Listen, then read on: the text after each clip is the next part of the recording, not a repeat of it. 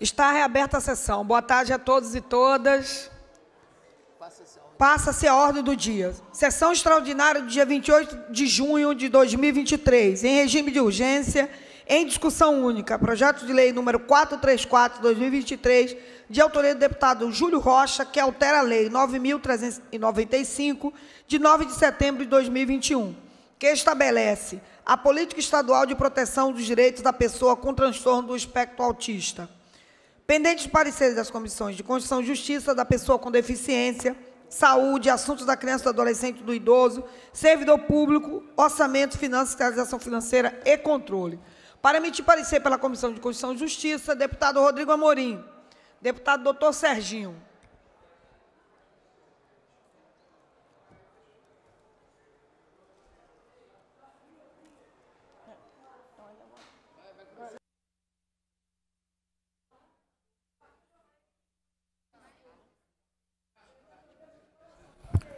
Parecer pela constitucionalidade com emendas.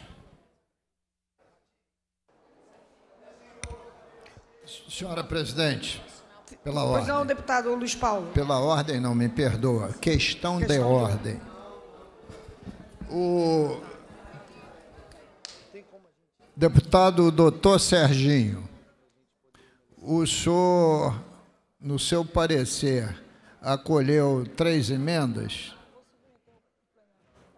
Deputado Luiz Paulo, parece que o autor do projeto está tá solicitando, e se houver a concordância do plenário, para inverter a pa- a, inverter a pauta para ele pauta. tentar negociar. Não, eu, eu não, eu estou dizendo o seguinte.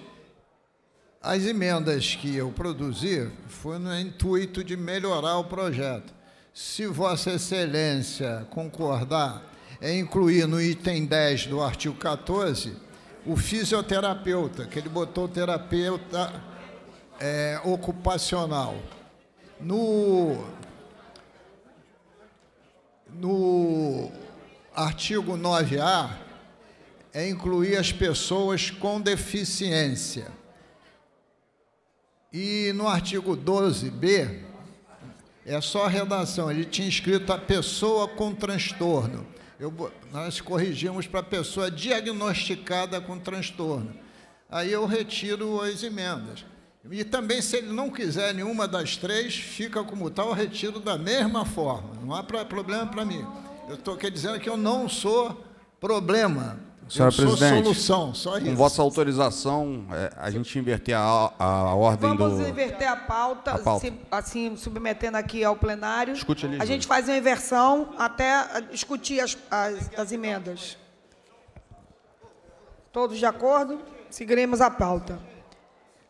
Anuncio regime de urgência em discussão única, projeto de lei número 438 de 23, de autoria do deputado Júlio Rocha, que dispõe sobre obrigatoriedade das concessionárias de energia elétrica notificar as empresas de telefonia, internet e TV a cabo para a remoção dos fios inversíveis nos postes.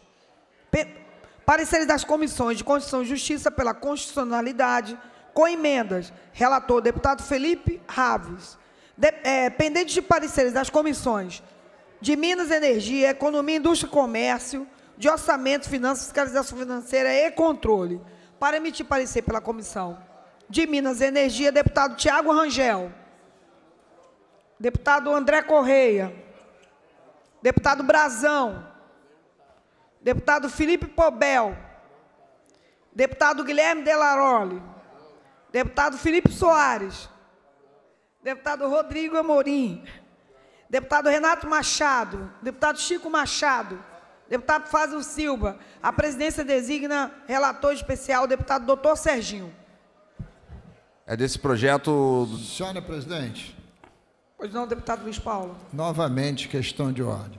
Doutor Serginho agora vai dar parecer pela Comissão de Orçamento, é isso, doutor? Minas Energia. Minas Energia. Parecer favorável. Não, querido, é que ele realmente parece um mineiro que trabalha nas minas de carvão da Inglaterra, né? parece um lorde inglês. Mas, senhora presidente, é que eu apresentei esse projeto também Duas emendas. duas emendas, não, duas, é, duas, em- duas, duas não, três emendas. Não, duas emendas. É, também para dizer para o doutor Serginho, a mesma coisa que eu disse na CCJ. Se quiser incorporar as emendas no parecer de Minas e Energia, incorpore que eu retiro. E se também não desejar, eu retiro da mesma forma. Eu não, Parecer favorável, incorporando as emendas do deputado Luiz Paulo. Pela ordem, presidente Tia Ju. Pois Dem- não, deputado. Democrática, afetiva e renovável. Tia Ju, houve um problema com o elevador, a gente ficou 10 minutos para descer, mas há uma questão sobre esse projeto, que é o seguinte: há uma lei que já de- determina a remoção. Há uma lei que eu sou coautor com o deputado Carlos, delegado Carlos Augusto. É a lei 6588 é, de 2019.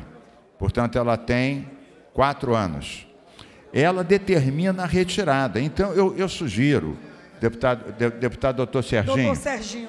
eu, eu sugiro, deputado, que vá à, à reanálise da CCJ, para a CCJ tentar salvar o projeto e que é um projeto bom. Deputado Carlos Mink, a CCJ já deu parecer Sim, mas, mas aí é que com tá. emendas. Eu sei, mas deixa eu dizer, mas as emendas se referem à lei existente, era bom verificar isso, porque veja, nós temos, deputada Tia Ju, presidente, nós temos um, um precedente aqui que diz o seguinte: havendo uma lei, a qualquer momento um deputado pode pedir para a CCJ reexaminar.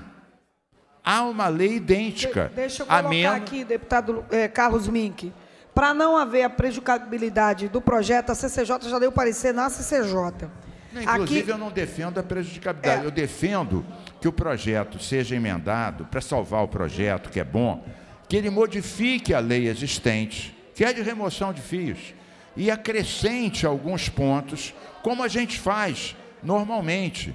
Eu não defendo a prejudicabilidade. Eu defendo que Emende seja um projeto existente. que modifique a lei existente, acrescentando dispositivos. Deputado Carlos de Mim, que até buscaria fazer, mas já houve o parecer da CCJ, não tem nem como alterar isso. Já porque houve. aqui a gente só está colhendo Não foi nem plenário, foi em Energia. sessão da CCJ. É. Minas Energia, Economia ordem, e presidente. Não está não tá colhendo o parecer da CCJ. Que ela já deu o parecer na comissão. Pela Pois ordem, não, presidente. deputado.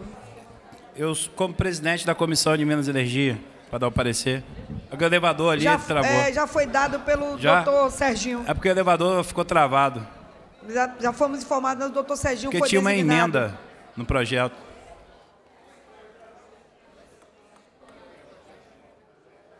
Senhora presidente, a condução de Vossa Senhora. É, não tem objeção nenhuma da senhora chamar o feito à vou chamar ordem os trabalhos e conferir a, a relatoria para o. Vou chamar os trabalhos Thiago. à ordem é, e evocar novamente o projeto de lei 438 de 23, pedindo o parecer da Comissão de Minas e Energia pelo presidente Tiago Rangel.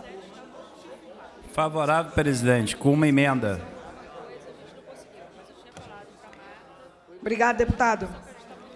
Pela Comissão de Economia, Indústria e Comércio, deputado Anderson Moraes. Deputado Daniel Liberon. Deputado deputada Célia Jordão. Deputado Felipe Soares. Deputada Dani Balbi. Deputado Tiago Rangel. Deputado Valdo Ceasa. Pela comissão, parecer pela Comissão de Economia, Indústria e Comércio. Lembrando que a CCJ não deu parecer. Minas Energia foi quem deu parecer. Economia. É que tem uma lei. É, a presidência suspende os trabalhos por dois minutos até encontrar o entendimento. Está suspensa a sessão.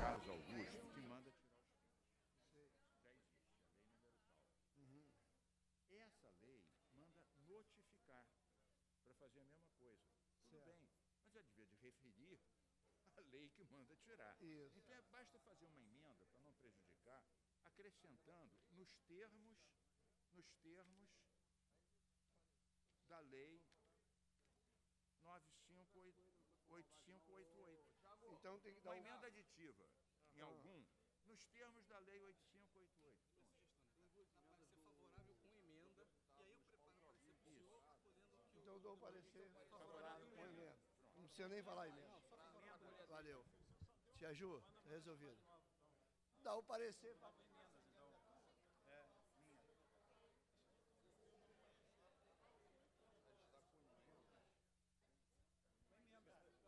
Já chegaram a um acordo, então, voltando para acolher o parecer pela eh, Comissão de Economia, Indústria e Comércio, o deputado Val Ceasa.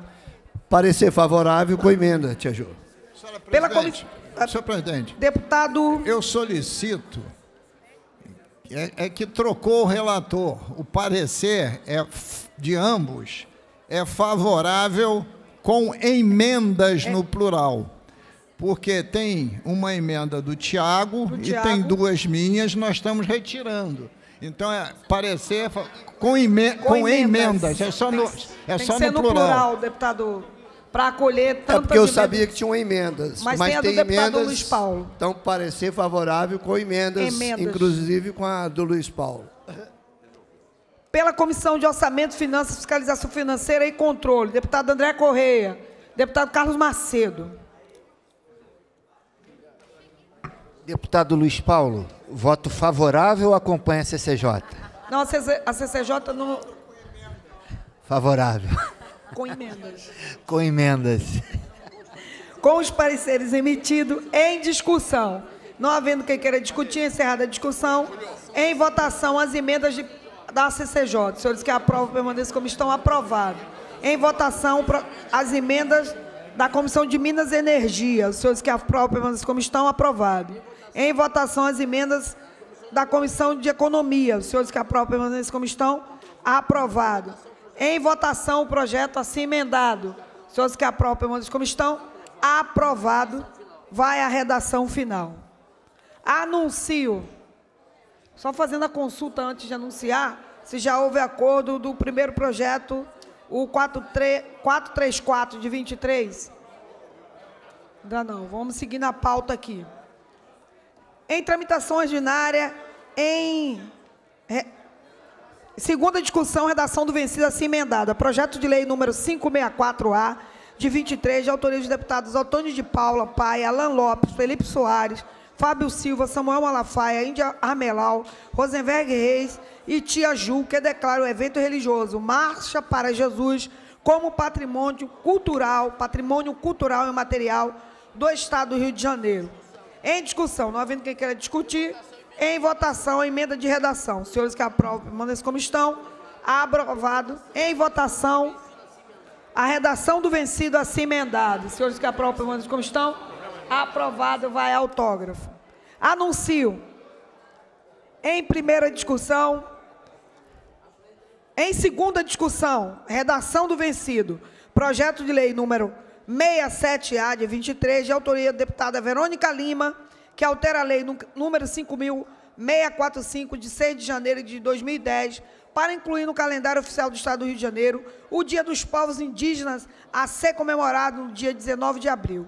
Em discussão, não havendo quem queira, é para discutir, deputada Renata Souza. Senhora Presidenta, muito rápido. O projeto de autoria da deputada Verônica Lima é super importante, dado que é importante dizer que o Dia dos Povos Indígenas, já comemorado nacionalmente no 19 de abril, agora corretamente chamado Dia dos Povos Indígenas, na verdade, era o Dia do Índio.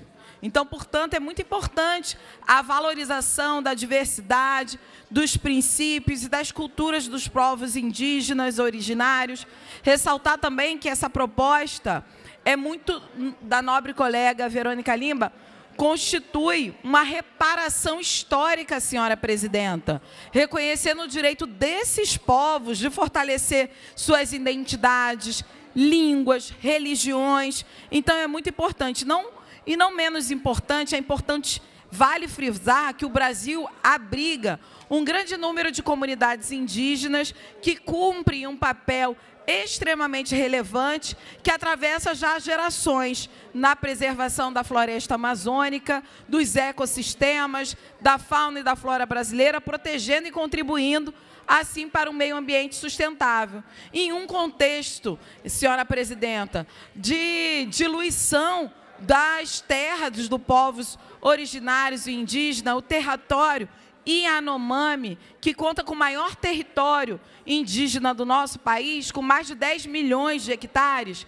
enfrentou uma grave crise humanitária em razão do avanço do garimpo ilegal, mas fato que foi ignorado no antigo governo e que, em consequência, de acordo com o último informe semanal da saúde do Centro de Operações de Emergências Yanomami, de 7 de junho, resultou, senhora presidenta, em 129 mortes no território.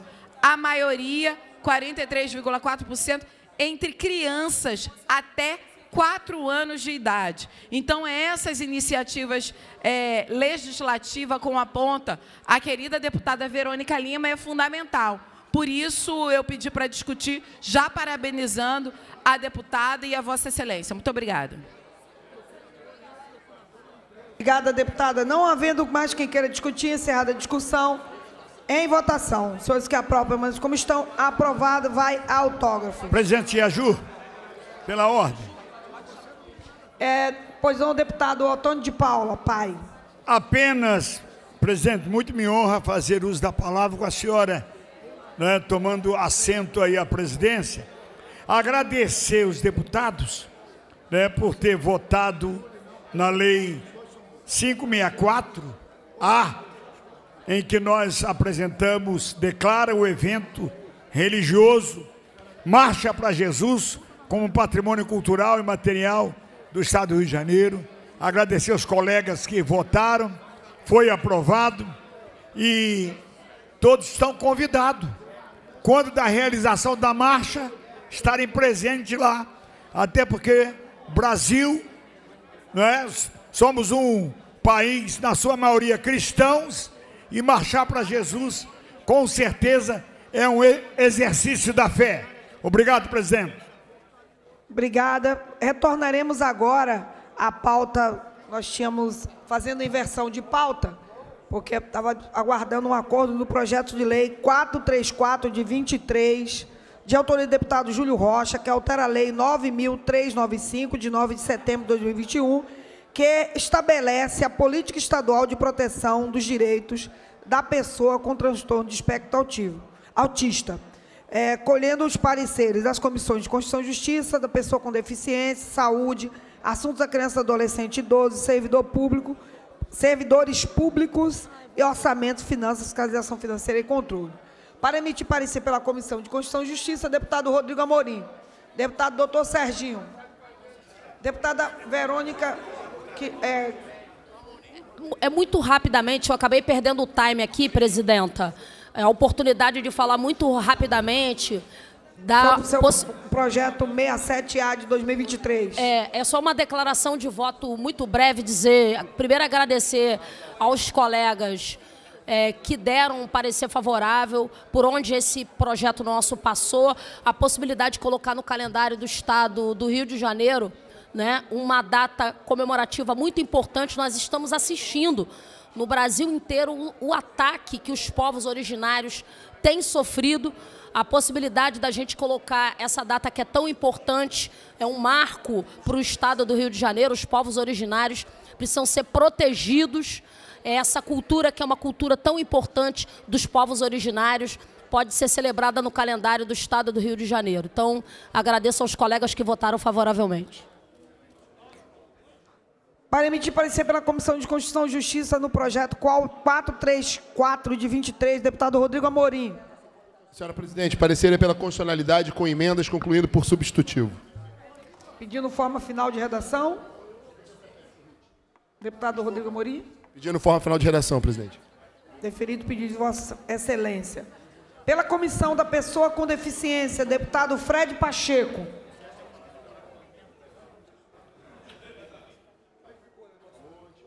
Presidente, favorável. Pela Comissão de Saúde, deputado Tande. Nosso querido médico Tande. Não, eu não sou médico não, presidente. Mas eu, eu, que tá não, quase. eu que não sou besta nem nada, sou bom aluno do nosso professor Luiz Paulo, parecer favorável com emendas. Pela Comissão de Assuntos da Criança, do Adolescente e do Idoso, deputado Munir Neto.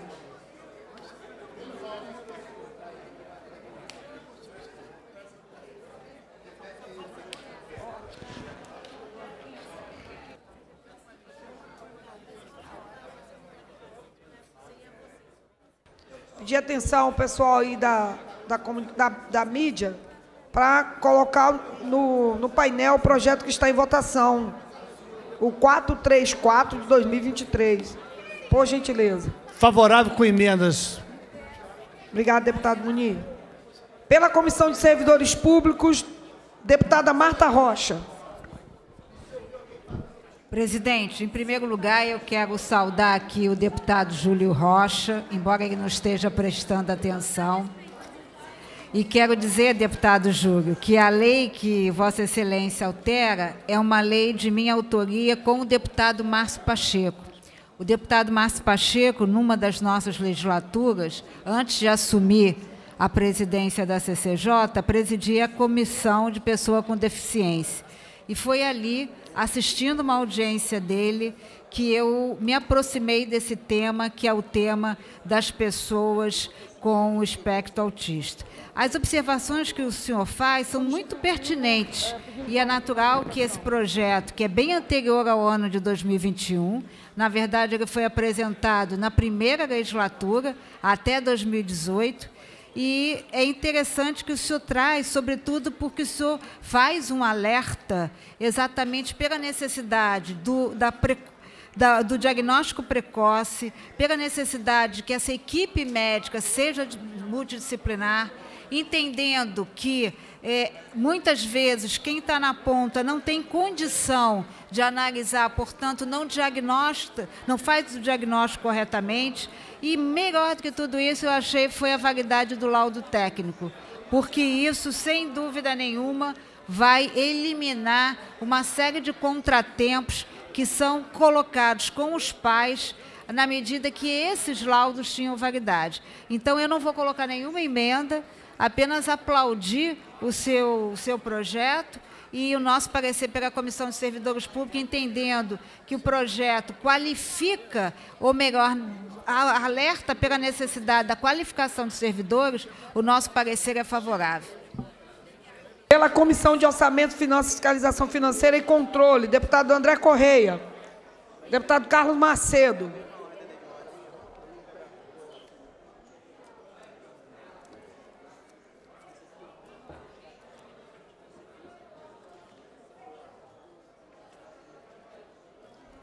Acompanho o parecer da CCJ. Com os pareceres emitidos, em votação, o substitutivo da, da Comissão de Constituição e Justiça. Os senhores que aprovam, mas como estão, aprovado. Vai a autógrafo. Desse do. Do deputado Júlio Rocha. Tá, porque eu tinha te falado que a gente retirou a emenda, não. Só para ressaltar, senhora presidenta, que a gente tem visto o esforço do deputado Júlio Rocha nesse tema. A gente reconhece a importância de falar do espectro autista. Inclusive, nós temos recebido pela Comissão de Defesa das Mulheres, senhora presidenta, toda uma situação em que nas escolas, deputado eh, Júlio Rocha, não tem os mediadores tão necessário para essas mães terem uma qualidade de ensino para os seus filhos do espectro autista. Então, nós retiramos a emenda, a emenda da bancada do pessoal, contribuindo assim para que o, puder- o projeto pudesse caminhar e ser aí transformado numa lei. Muito obrigada, presidenta.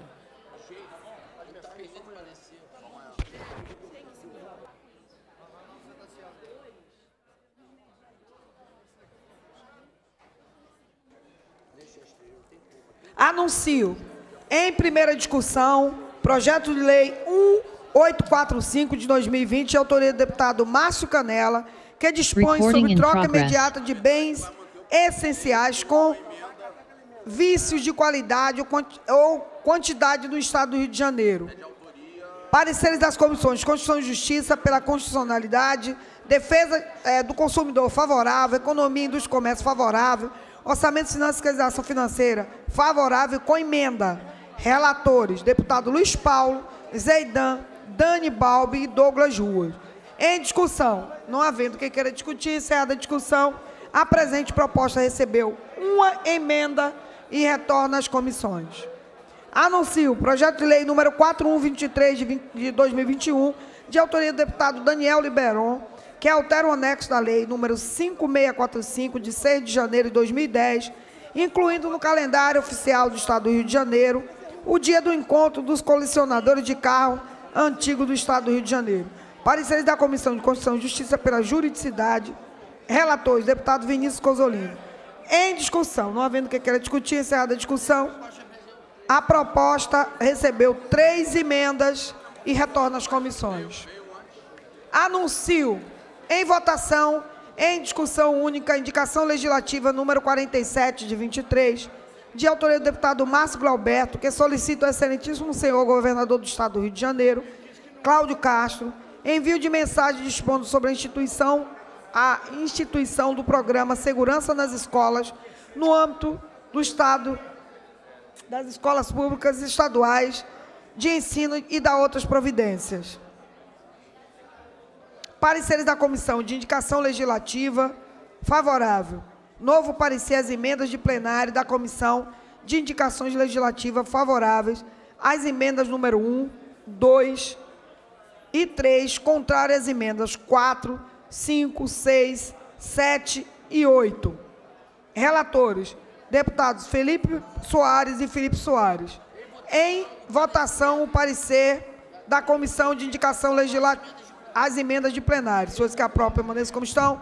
Aprovado. Voto Em contrário, Tia Ju. Voto contrário. Só para declarar o voto, Voto evidentemente, contrário do da, bancada- é, da bancada do PSOL. Da bancada do PSOL. a gente tem lutado muito, Tia Ju, para que haja um programa de prevenção à violência nas escolas.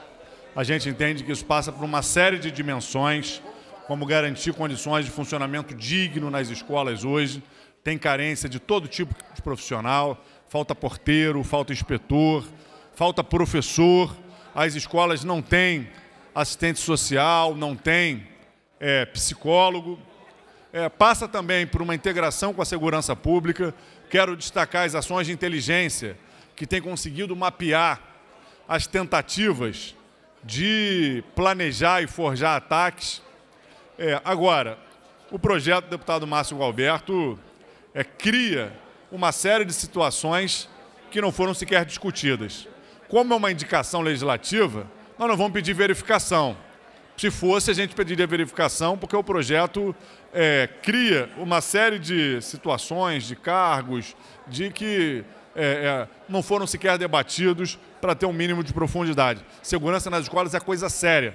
Não é para ninguém tirar proposta da cachola e botar é, para ser votado. Então, é, a, a posição do pessoal é contrário a esse projeto. Somos favoráveis, sim, a um programa de segurança nas escolas, mas não isso aqui, é, sem discussão, sem base e numa perspectiva é, é, não de prevenção, de acolhimento, né, mas numa perspectiva é, é, de vigilância. Para discutir, Tia Ju. Queria Está em só. votação. Já, é, Não pode discutir proje- a indicação?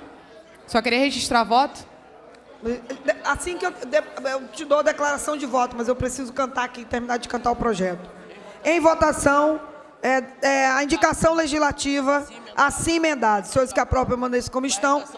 Aprovado, vai a redação final. É, para a declaração de voto, deputada Índia Armelau. Queria deixar o, o voto favorável declarado, porque o que mais precisamos é de um programa de segurança nas escolas. E eu não entendo qual é o medo de ter segurança nas escolas. Os locais mais seguros, ninguém reclama, mas quando vamos impor isso nas escolas, tem uma, um alerta muito grande e a gente tá- até agora não sabe por quê. Então, quero parabenizar o Márcio Galberto. Ele conta com todo o meu apoio e com a, a maioria da bancada da casa. O que for preciso para protegermos nossas crianças, professores e todos que estão dentro das escolas, eles, ter- eles terão nosso apoio. E parar com esse negócio que estamos apenas incentivando a violência. Obrigada, Tia Ju. A presidência gostaria de aproveitar é, o coro altíssimo da presença dos deputados e deputadas e anunciar as sessões de amanhã. Na sessão ordinária é, do dia, na hora do dia de amanhã, iremos votar as mensagens do PL 1420 de 23. Atenção, senhores e senhoras deputados. Mensagem 17. O PL 1418 de 23, a mensagem número 15. Na primeira extraordinária, o PL 1416 de 23, mensagem número 13. O PL 1421 de 23, mensagem 18. Na segunda extraordinária, é, será trazido o PL 1422 de 23, mensagem 19. PL 1417 de 23, o PE, é a mensagem 14, número 14. Na terceira extraordinária, isso no dia de amanhã, todos, é, será trazido o PL é, 8 de 20, o PLC 8 de 23, mensagem número 20, o PL 1419 de 23, mensagem número 16. Estão todos convocados para as sessões, as sessões de amanhã. Anuncio em discussão única projeto de resolução número 1627 de 22, de autoria da deputada Tia Ju, que concede medalha Tiradentes e o respectivo diploma ao senhor Roberto Casumir Baldas Miura, coronel médico do CBMERG. Pareceres da Comissão de Normas Internas e Proposições Externas favorável. Relator, deputado Márcio Canela. Em discussão. Não havendo que queira discutir, encerrada a discussão em votação. Senhores que aprovam, mandam como estão. Aprovado. Vai a publicação. Anuncio o projeto de resolução número 51, 2023, de autoria do deputado Rafael Nobre, que concede medalha Tiradentes e o respectivo diploma ao excelentíssimo senhor prefeito de Nilópolis, Abraão Davi Neto. Pareceres das comissões normas internas e proposições externas favorável. Relator, deputado Rodrigo Amorim.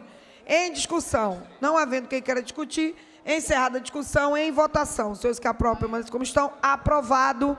Abstenção. Marta Abstenção da deputada Marta Rocha. Questão de ordem, presidente.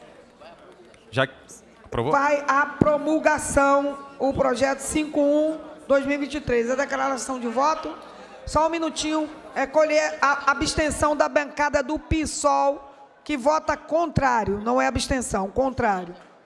Bancada do PSOL, contrário. Pois não, deputada, questão de ordem ou declaração? Agradecer só pelo projeto. Declaração de voto.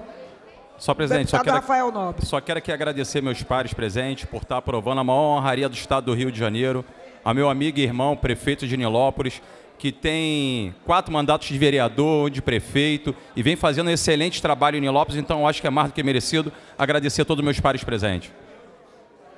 Obrigada. Deputado Tandi, não? Anuncio o projeto de resolução 145 de 23, de autoria do deputado Tandi Vieira, que concede a medalha Tiradentes e respectivo diploma ao doutor Antônio Rodrigues Braga Neto. Da comissão, parecer da Comissão de Normas Internas e Proposições Externas, favorável. Para discutir, senhora presidente. Relator, deputado Fred Pacheco. Em discussão, para discutir, o deputado Tandi Vieira. Presidente Aju, doutor Antônio Braga Neto é um médico, ginecologista e obstetra, com mestrado e doutorado. Possui quatro pós-doutorados, dois na Universidade Estadual Paulista, um no Imperial College de Londres, um em Harvard, onde eu tive a oportunidade de estudar também. É um dos maiores especialistas do mundo na doença trofoblástica gestacional. E hoje é o coordenador da área de saúde da mulher da Secretaria de Estado de Saúde, um ator bastante importante nas, nas audiências públicas da nossa Comissão de Saúde. É um médico muito respeitado, muito admirado, que desenvolve um trabalho fantástico no nosso país e que merece receber essa medalha da casa. E eu agradeço a todos os companheiros que, que podem votar a favor. Obrigado. De ordem, presidente. Senhora presidente, Deputada. é que o deputado não quis dizer o Braga Neto que ele quer honrar não foi o, não é o candidato a vice-presidente da República derrotado nas urnas. É só alertar, porque Que é- o cara é Braga, Braga Neto, Neto, vai dizer assim, médico. voto não. E eu vou votar assim, é outro Braga Neto. É o Braga Neto médico. Deputado, deputada Élica já tinha pedido o deputado Chico, mas, deputada Élica, como o deputado Chico é uma figura muito é, peculiar do nosso parlamento, já foi líder do governo, se Vossa Excelência permitir. Não, senhor. Não. Ele é cavalheiro. Primeira- Deputada damas. Takimoto. A senhora. Então tá. Obrigada. Presidente, eu queria consignar meu voto de abstenção no, na, no IL 47-23. Eu tive todas as minhas quatro emendas eh, rejeitadas, aí eu queria aqui consignar meu voto de abstenção. Obrigada. Consignado. Deputado Chico Machado. Eu quero conseguir, consignar meu voto favorável. E se apresentarem também do Braga Neto, no- no- o ex-candidato a vice-presidente da República, ainda mais vou votar com mais vontade ainda, que é merecedor. Né? Como esse senhor também é apresentado pelo Tandes, deputado Tandes, o nosso querido general Braga Neto também é merecedor dessa honraria. Não havendo mais quem queira discutir, encerrada a discussão em votação. Os senhores que aprovam o mandato como estão, aprovado, vai à promulgação. Anuncio indicação legislativa número é, 63 de 2023, de autoria do deputado Antônio de Paula Pai, que solicita ao excelentíssimo senhor governador do Estado do Rio de Janeiro o envio da mensagem dispondo sobre o Programa Estadual de Fomento e Incentivo à Comunidade Terapêutica. Parecer da Comissão de Indicação Legislativa favorável. Relator, deputado Felipe Soares. Em discussão. Pela ordem. Pela ordem para discutir. Não, é a mesma coisa, mas é sobre aquelas discutir. emendas. É. Então, deputada Tia Ju, conversei com o deputado Otônio Paula Pai, eu apresentei três emendas. Nós fizemos um entendimento, e por esse entendimento, eu vou retirar duas e o deputado concorda em incorporar uma ao texto. Agora, nós estamos com uma dificuldade, eu falei com o nosso senador Marquinho, que há uma dificuldade, deputado doutor Serginho, que já foi dado parecer, a menos que fosse chamado os trabalhos à ordem e, de comum acordo, um novo parecer incorporasse essa emenda, as outras duas eu retiro. Será que não pode? Uma É, questão de deputado ordem. Carlos Mink, eu teria que chamar tra- os trabalhos à Isso. ordem, mas não está. Não está. é, precisa, a gente precisa ver as emendas e precisa ter aqui o presidente da comissão. É o Felipe Soares que deu. O relator foi o deputado Felipe Soares, ele não está presente. O relator foi o deputado Felipe Soares. Não pode incorporar, que já foi dado, poderia ser chamado os trabalhos à ordem, e o, o relator é, dá, é, incorporar as emendas, dá o parecer novamente, mas, o deputado Felipe O Soares. presidente não pode ser o vice-presidente da comissão? Quem é o vice-presidente? Mas aí a gente vai ferir o relatório do relator, que já deu. Mas, deputada Tia Ju, Vossa Excelência tem razão. É claro que é uma excepcionalidade em vista desse acordo. É porque, se todos estivessem de acordo, Vossa Excelência é uma democrata, e nós todos reconhecemos. Se todos estivessem de acordo, havendo um vice da comissão, Vossa Excelência chamando o trabalho à ordem, a gente já concordou. Eu tiro duas emendas, incorpora uma, a gente já aprova o projeto hoje. O deputado tem interesse que se resolva isso hoje logo.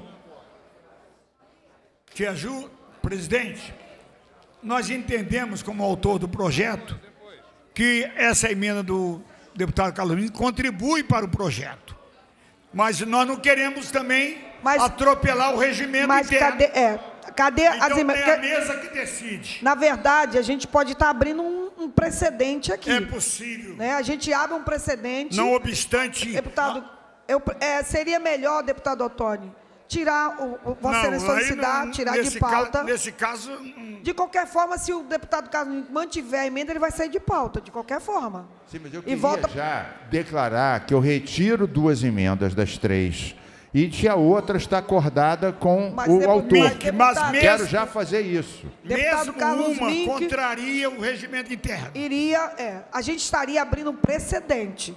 E abrir precedente é algo muito perigoso. Nós não queremos isso. Eu, como Então autor é melhor projeto, deixar o projeto seguir novamente, porque ele vai sair de pauta de qualquer forma. Se Sim, a excelência quero- tirar, Tudo bem, e fazemos segue assim. com as emendas. Fazemos assim, mas eu, Eu- quero que conste que eu estou retirando duas das três emendas e que a outra já há acordo com o deputado. Eu, eu quero isso. E vou mostrar agora para Quando o voltar, eu senador. voto favorável.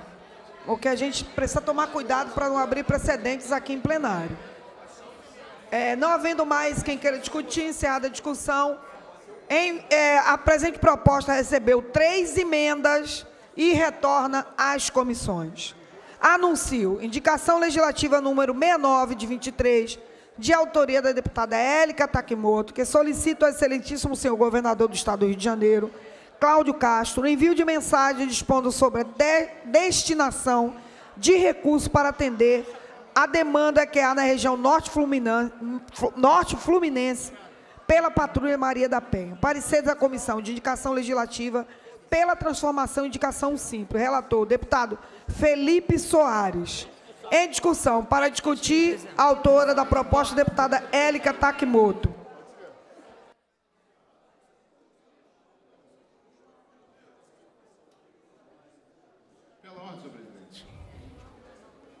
Deputado, Chico Machado. Eu queria é, aproveitar a oportunidade e registrar a presença do ex-subsecretário de governo, Matheus Quintal, e atual secretário de saúde da cidade de Três Rios, do prefeito Joa. Quero aqui registrar a presença do meu amigo Matheus Quintal, que me ajudou muito naquele curto período que eu fiquei à frente da Secretaria de Governo. Muito obrigado. Deputada Élica Takimoto, Vossa Excelência impõe de sete minutos e meio. Obrigada. Presidenta, eu gostaria de trazer breves, porém importantes justificativas para essa indicação legislativa da minha autoria, que solicita ao excelentíssimo governador do estado do Rio de Janeiro, Cláudio Castro, envio de mensagem dispondo sobre a destinação de recurso para atender a demanda que há na região norte fluminense pela patrulha Maria da Penha. Eu gostaria de aproveitar para compartilhar que no último dia, 19 de junho, aqui no Rio, com o ministro eh, Flávio Dino, no lançamento do Pronas no nosso, no nosso estado. Eu estive com ele. E o Pronas é uma política importantíssima, inovadora, desde que foi criada para pensar e executar políticas públicas de segurança com cidadania. E nesse dia também eu estive com, o tenente, com a Tenente Coronel Cláudia Moraes, da PM do nosso estado, uma profissional que muito nos orgulha com o seu trabalho frente ao programa Maria da Penha, Guardiões da Vida. Eu aproveitei essa agenda para falar com o ministro e com a tenente da minha preocupação com os dados de violência doméstica no interior. E quando essa demanda chegou ao, meu gabinete, a demanda do Norte Fluminense, a realidade se apresentava da seguinte forma, que eu trago aqui. Em São João da Barra, São Fidélis, São Francisco de Tabapuana, Campos do Goitacazes, gozavam, conforme informações obtidas, através das subsecretarias de políticas para as mulheres no campo é, de Goitacazes e trazida por mulheres de campos, eles tinham apenas uma viatura para execução das atribuições da patrulha Maria da Penha. Ou seja, é, praticamente metade da região norte fluminense possui apenas uma viatura para essa finalidade.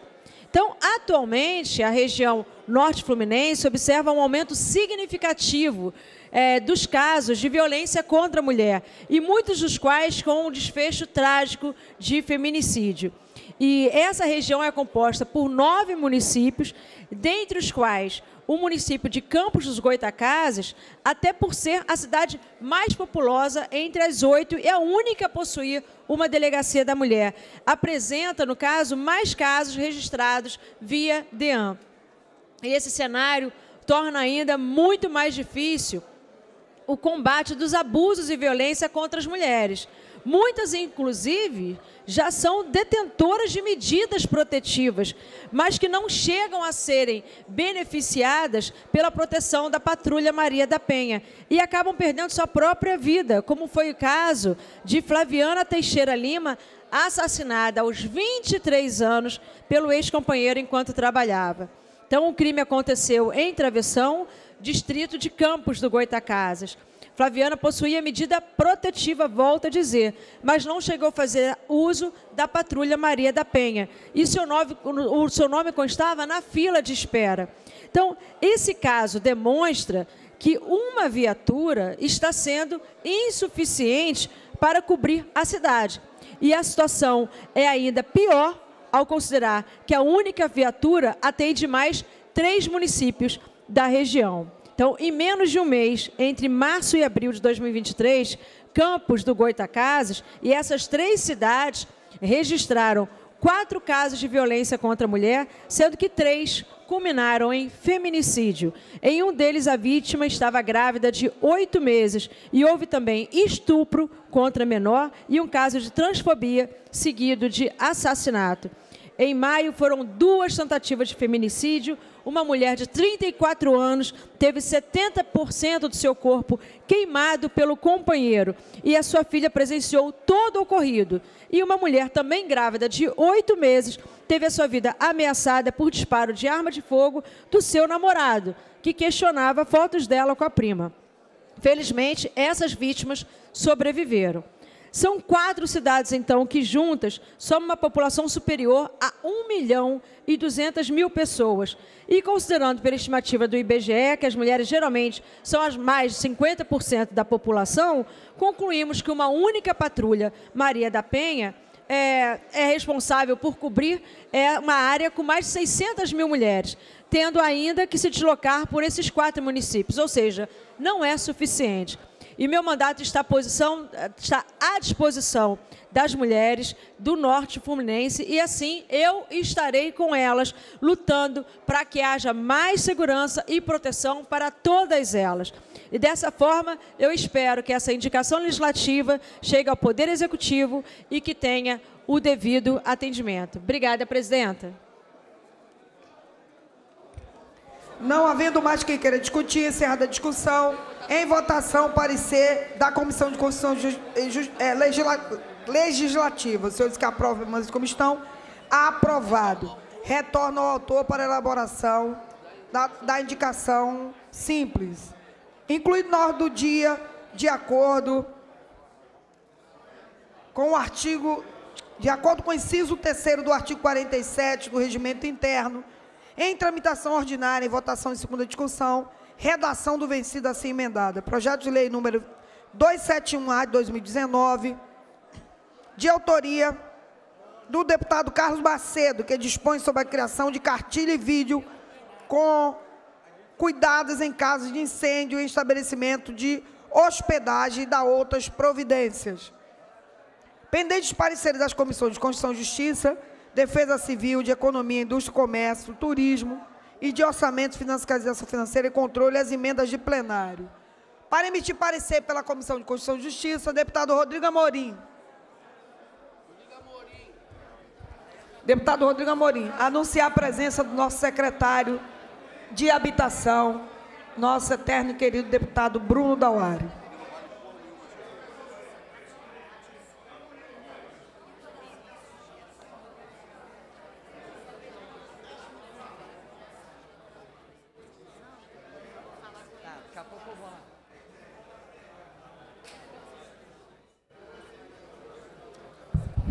Presidente, o parecer é favorável com subemenda à emenda 1, prejudicada a emenda 2 pela emenda 10 de plenário em primeira discussão, prejudicada a emenda 3 pela emenda 2 da Comissão de Turismo em primeira discussão, concluindo por substitutivo, presidente.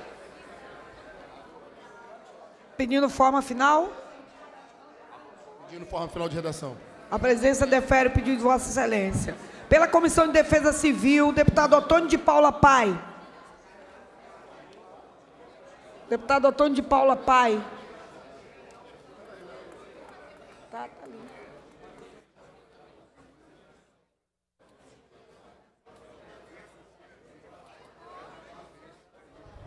Presidente, a Comissão de Defesa Civil acompanha o CCJ pela Comissão de Economia, Indústria e Comércio, deputado Anderson Moraes. Deputado Daniel Liberon. Deputada Célia Jordão. Deputado Felipe Soares. Deputada Dani Balbi. Acompanhe parecer da CCJ, presidenta. Pela Comissão de Turismo, deputado Júlio Rocha.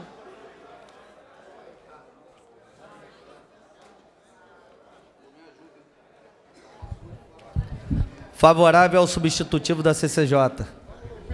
Pela Comissão de Orçamento, Fiscalização Financeira e Controle, deputado André Correia. Deputado Carlos Macedo. Deputado Carlos Macedo não pode, está impedido, que é, o, é substitutivo, deputado, pode sim. Acompanhe a CCJ, presidente. Com os pareceres emitidos, em votação, o parecer, o substitutivo da Comissão de Constituição e Justiça. Os senhores que aprovam a permanência como estão, aprovado. Vai autógrafo. Anuncio. Projeto de lei. Pela ordem, registrar a presença do nobre deputado secretário de Estado de Habitação do Rio de Janeiro, nosso colega deputado Bruno Dauari, registrar a ilustre presença de Vossa Excelência, muito nos honra. Parabéns pelo trabalho que Vossa Excelência vem desenvolvendo à frente da habitação no nosso Estado. Muito obrigado pela visita. Deputado Rodrigo Amorim, sinto informar a Vossa Excelência que eu já tinha feito o registro. Presidente, pela Deputado ordem. Jorge Felipe Neto. Só para dizer, registrar também que a presença do Bruno Dauari muito nos abrilhanta aqui hoje. Mas fazer um, um pedido à nobre deputada Lucinha a respeito do próximo projeto. Houve por bem várias associações de escolas privadas ontem procurarem essa casa no sentido de buscar fazer um acordo, uma remediação do projeto que será cantado por Vossa Excelência agora, que trata de ultraprocessados nas cantinas das escolas. Muito embora a Câmara do Rio tenha aprovado isso recentemente com grande alarde, há uma preocupação do setor, presidente, no, no seguinte sentido. Primeiro, de transformar a cantina, que hoje é uma renda acessória, num custo para as escolas, principalmente para as pequenas escolas. E os ultraprocessados, em todo ou em parte, fazem parte da alimentação costumeira de todos nós. E aí eu queria pedir a sensibilidade da deputada Lucinha para dizer qual é a lista dos, dos ultraprocessados e que a gente pudesse receber essas associações e chegar a um acordo que eles não mudassem o core business deles para virar um restaurante vegano e não uma cantina de escola. A lista dos ultraprocessados é o seguinte: vários tipos de biscoito, sorvetes, balas e guloseimas em geral, cereais açucarados para o café da manhã, até aí tudo besteira, concordo. Mas vamos lá. Bolos e misturas para bolos, barrinha de cereal, sopa, macarrão, tempero instantâneo, molhos, salgadinho de pacote, refresco e refrigerante, iogurtes e quaisquer bebidas lácteas adoçadas ou aromatizadas, bebidas energéticas, produtos congelados e prontos para consumo, ou seja, a gente está falando de um pão de queijo. Massa de pizza, hambúrguer, extrato de carne de extratos de carne de frango ou peixe empanados do tipo nugget, salsicha, outros embutidos, pães de forma, pães para hambúrguer ou hot dog, pães doces e produtos panificados cujos ingredientes contêm substâncias como gordura vegetal, açúcar, amido, soro de leite, emulsificante ou outros. Até o pão francês entra nisso, presidente. Então, o pedido é para que a gente pudesse chegar numa consideração com essas associações, ver se retirava por acordo o projeto de pauta. Eu sei que já teve audiência pública, tudo isso, mas há uma preocupação que é real. Uma vez que essas escolas, essas associações vão ter que mudar todas as cozinhas, contratar mais funcionário, um custo enorme, porque para manipular os alimentos que não são processados, eles vão ter que simplesmente mudar todo o regramento, é importante essa casa entender isso, da própria vigilância sanitária. Para você fazer um ovo numa panela, você vai ter que mudar a cozinha inteira. Por isso que as cantinas são como são. Então não adiantaria fazer essa regra sem também fazer uma adequação da própria vigilância sanitária para isso. Mas esse é o pedido, presidente. Se não tiver acordo, tudo bem, eu fiz minha parte. É, As emendas ao projeto foram todas retiradas, sendo assim, vai à votação o projeto original. Não, não haver é, acolhida de emendas. É, os senhores que aprovam permaneçam como estão. Aprovado, vai autógrafo. Verificação, presidente. Já passou, já cantou. já cantou. Verificação de votação. Isso é regimental, presidente. Verificação Gente, de votação. atenção. A hora de pedir verificação, presidente, é quando Vossa Excelência fala que foi aprovado ou rejeitado. Não Mas é eu anteriormente. aprovei antes de pedir de verificação. Não, não, eu não. tô. Verificação. Presidente, verificação. Mas ele pediu. ver- Eu não ouvi Verificação verificação, votação, aqui. presidente. Eu cantei que aprovam, pergunta depois. Tô pedindo só, tia verificação. Ju, na dúvida, Tia Ju. eu gostaria de solicitar a TV Alerj, porque eu tenho certeza Olha só, que não precisa- foi chamado Olha antes. só. Presidente. O projeto foi cantado por Vossa Excelência como presidente, foi retirado as emendas, Presidente. só ela colocou em votação, foi aprovado, todo mundo que está aqui ouviu. Não passou a votação, presidente. Foi aprovado Não o projeto. passou a votação. O projeto foi aprovado, Vossa Excelência cantou Eu e não aprovou posso o projeto. pedir a verificação, a presidência presidente. suspende a sessão por dois minutos. Você cantou, você cantou o projeto e deu o resultado. Que desde a época do Cristiano, eu vou voltar com a camisa hereditária do Cristiano.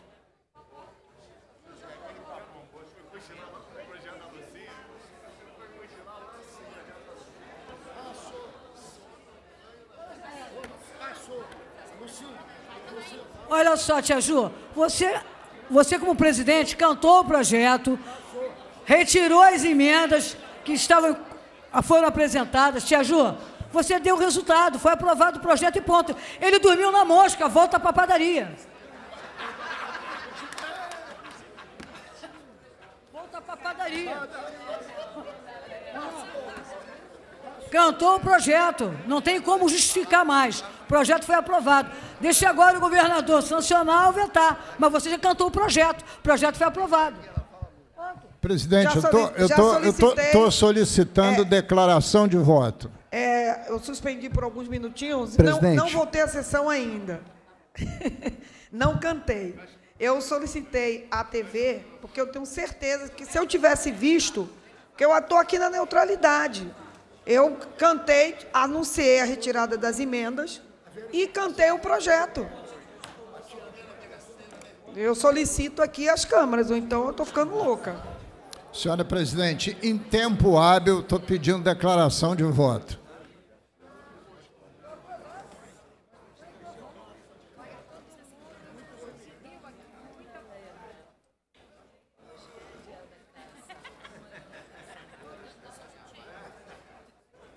Senhora presidente, eu só esqueci de dizer uma coisa. Matéria vencida.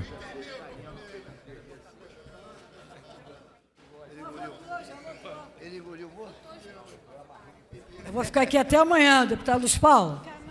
Vai ficar aqui as meninas todas, os meninos vão ficar para aí, a maioria, eu acredito. Vou pedir o Pobel para passar para lá de cá, que ele também tem filho pequeno. Sabe o que eu estou falando? Da importância desse projeto, só por isso. Todos nós temos. Tia Ju, fui criado comendo tudo isso, tô aqui, ó. Quem? Tia Ju não, Lucinho. que- comendo tudo isso que a senhora quer proibir, eu fui criado comendo isso, tô aqui, Ai, ó. você acha que isso é saudável? Os seus filhos não.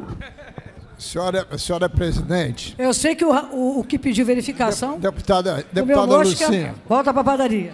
Queria, eu queria dizer ao nobre deputado que quem ganha concurso de robustez infantil não representa boa saúde. Presidenta, Tia Ju, o deputado Luiz Paulo pediu declaração de voto, mas ele pediu depois de mim, porque eu estava no microfone quando Vossa Excelência proclamou o resultado. Então, a declaração de voto, a primeira inscrita sou eu, por favor. Deputada Verônica, a sessão está suspensa, eu ainda estou verificando aqui assim claro, que retornar. É só no retorno, eu estava na fila ali e já tinha pedido. Ele pediu em, em sequência, eu quero ser a primeira, por favor.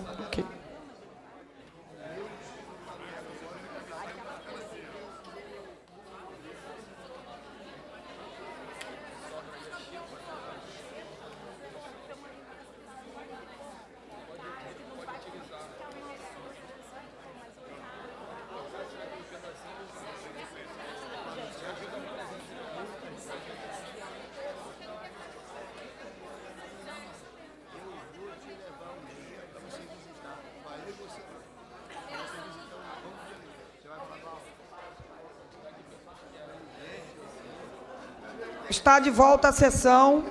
Eu gostaria. Aqui eu estava consultando primeiro o regimento interno. É para. É, porque o, o que foi trazido aqui ah, foi na época do fulano do cicrano. Para mim, o que vale na época do cicrano e fulano, o que vale é o regimento interno. Né? Então, eu fui consultar aqui o regimento interno. O regimento interno diz o seguinte: se algum deputado ou deputada né, tiver dúvida quanto ao resultado promulgado, proclamado, pedirá imediatamente verificação de votação. Então, sendo assim, realmente, eu quero dizer para vossas, vossas excelências que disseram que eu não cantei o projeto, cantei, mas o deputado pediu imediatamente verificação e aí eu preciso fazer valer o regimento interno. É o que diz o regimento. Olha só, Tia com todo o respeito que eu tenho a você, como pessoa, que a gente já convive aqui há bastante tempo, isso aí não é regimental, não. Não é regimental, não, que já teve outras ocasiões aqui Deputado na casa Luiz- e que projetos foram cantados e não, e não voltou atrás. Deputada que já tinha Lucinha, cantado o projeto. Eu queria só deixar claro para o deputado Jorge Felipe Neto que não tem que me agradecer nada, porque eu não estou fazendo aqui olhando. Quando disseram que eu não cantei o projeto, eu disse que sim, porque eu tinha certeza que eu o fiz. Proclamou o resultado eu, do eu projeto. proclamei, mas o regimento diz que se algum deputado tiver dúvida, ele pode requerer a verificação. Senhora presidente, só uma questão de ordem. Deputado regimental. Realmente, o regimento diz isso. E o que que normalmente nós que estamos na oposição fazemos? A gente se levanta, fica pertinho do microfone. Quando a senhora começa a cantar o resultado, no caso específico que a senhora está é, presidindo, e a gente pede verificação de votação. O regimento não define que se eu ficar ali sentado e passou três minutos, eu pedi assim, verificação de votação, a senhora pode dizer assim, matéria vencida. Por quê? Porque não pediu no exato momento que a senhora cantou. O regimento não diz qual é o tempo. Qual é o tempo. né? Então, é, a leitura só do regimento não justifica. Porque muitas vezes o parlamentar cochila e o presidente ainda nos diz o seguinte: a lei não protege a quem cochila. E o deputado cochilou. Essa que é a questão. Deputado Luiz Paulo. Olha só. É, com todo respeito ordem, à Vossa Excelência, deputado Jorge Felipe Neto. É, fiz a leitura do, do regimento.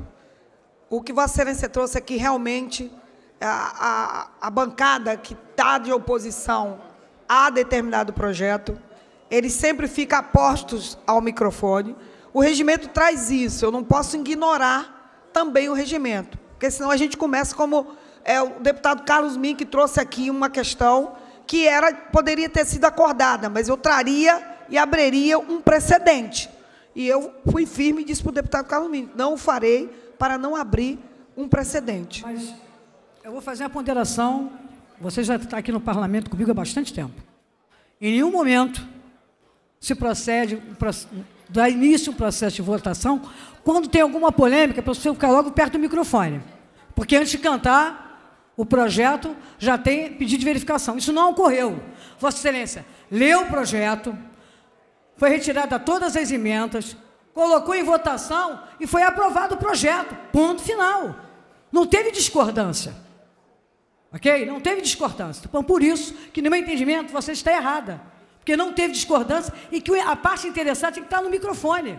Deputada já, que era, um- já que era um projeto que, que beneficia alguns setores, que não é o setor das crianças, não. Nem dos adolescentes que vivem comendo essas porcarias em bares e em, em cantinas de, de- de escola, não. Mas eu acho que Vossa Excelência está equivocada. Vou pedir para Vossa Excelência rever o seu posicionamento, porque no passado, lá atrás, existia esse precedente, na época do Pisciano, e nós acabamos com isso. Nós acabamos com isso. Porque não é correto. Quem quer pedir verificação, fica ao lado do microfone para, antes de cantar o projeto, já pedir verificação. Então, da forma que você está procedendo, está equivocada. Deputada Isso vai Lucinha. abrir precedente no futuro de votar algum projeto executivo, eu estiver sentada lá, vou vir aqui e dizer, ó, quero verificação.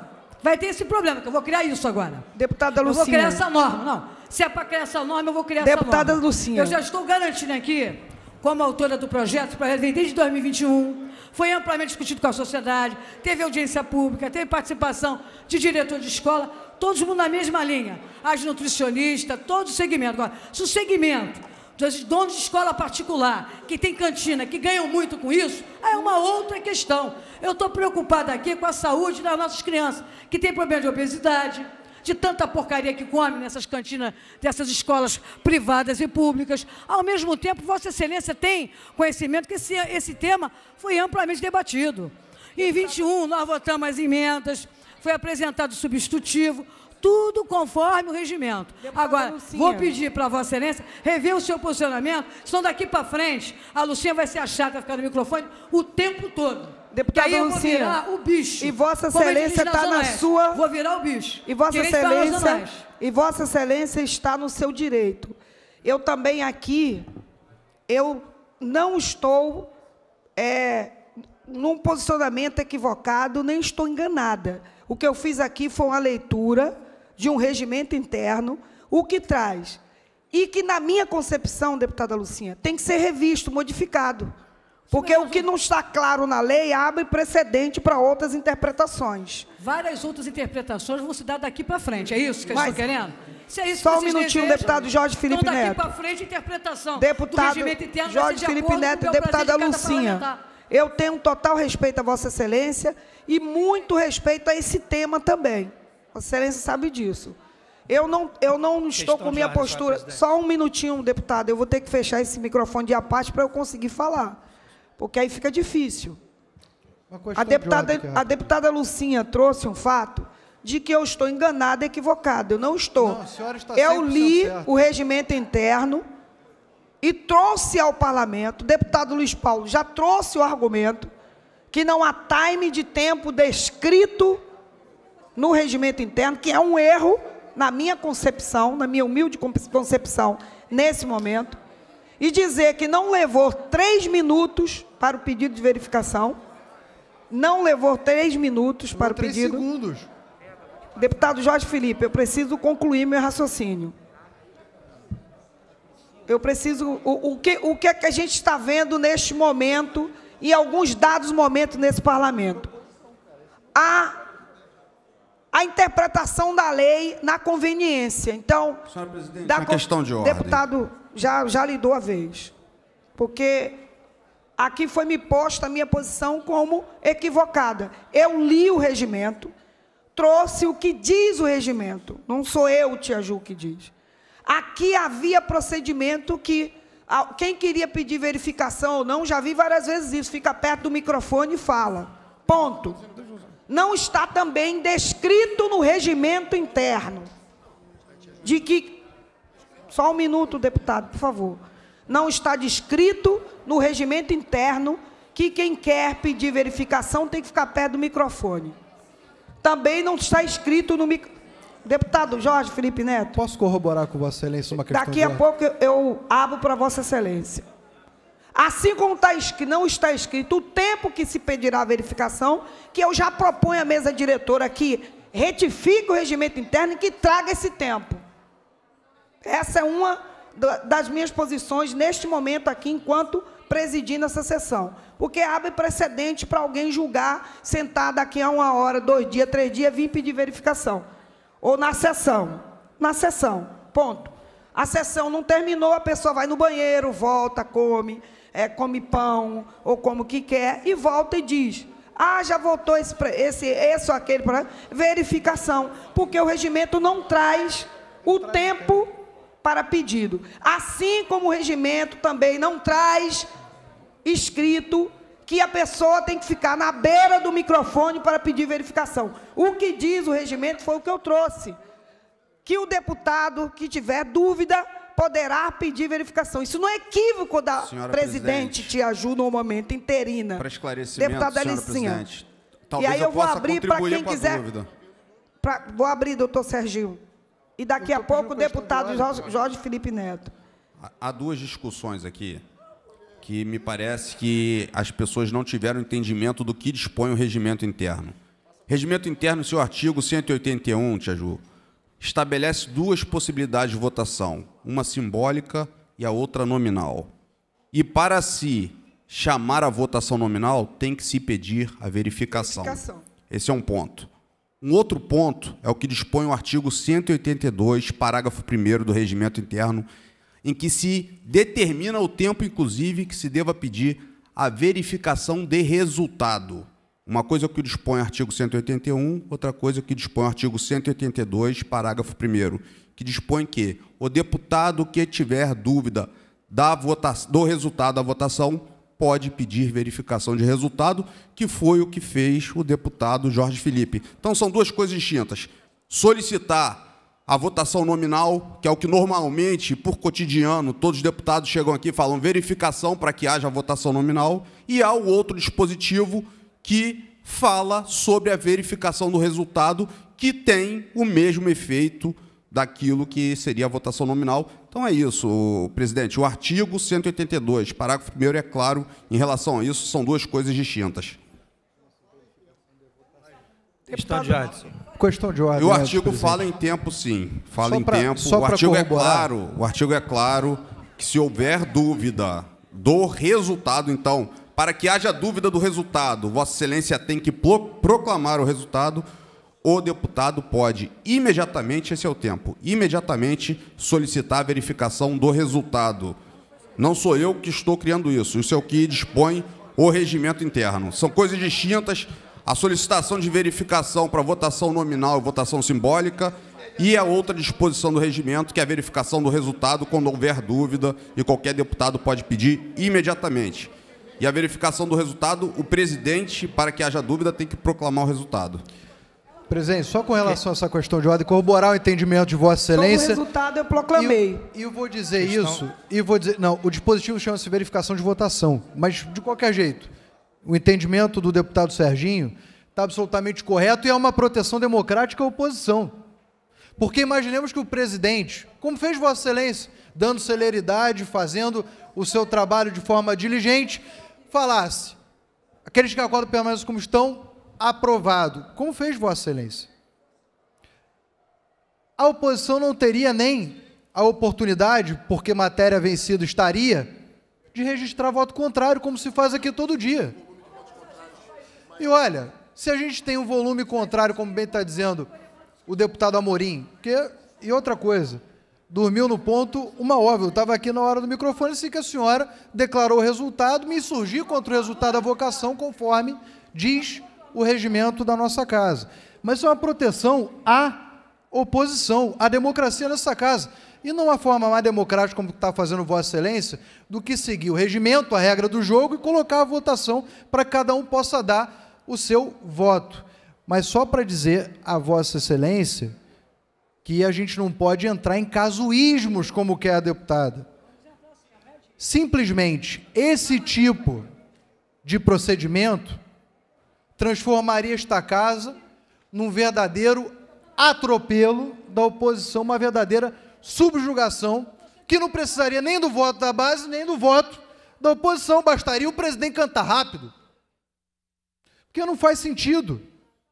Imediatamente, o projeto foi cantado, ele é colocado em votação e ato contínuo, em menos de um segundo, Vossa Excelência aprovou. E aí se verifica. Como sempre foi nessa casa, nunca houve essa discussão e muito me é, surpreende, estranha, que a nossa doce Lucinha não entenda, com tanto tempo nessa casa, o procedimento fui doce aqui nessa casa. absolutamente escorreito, escorreito e comum.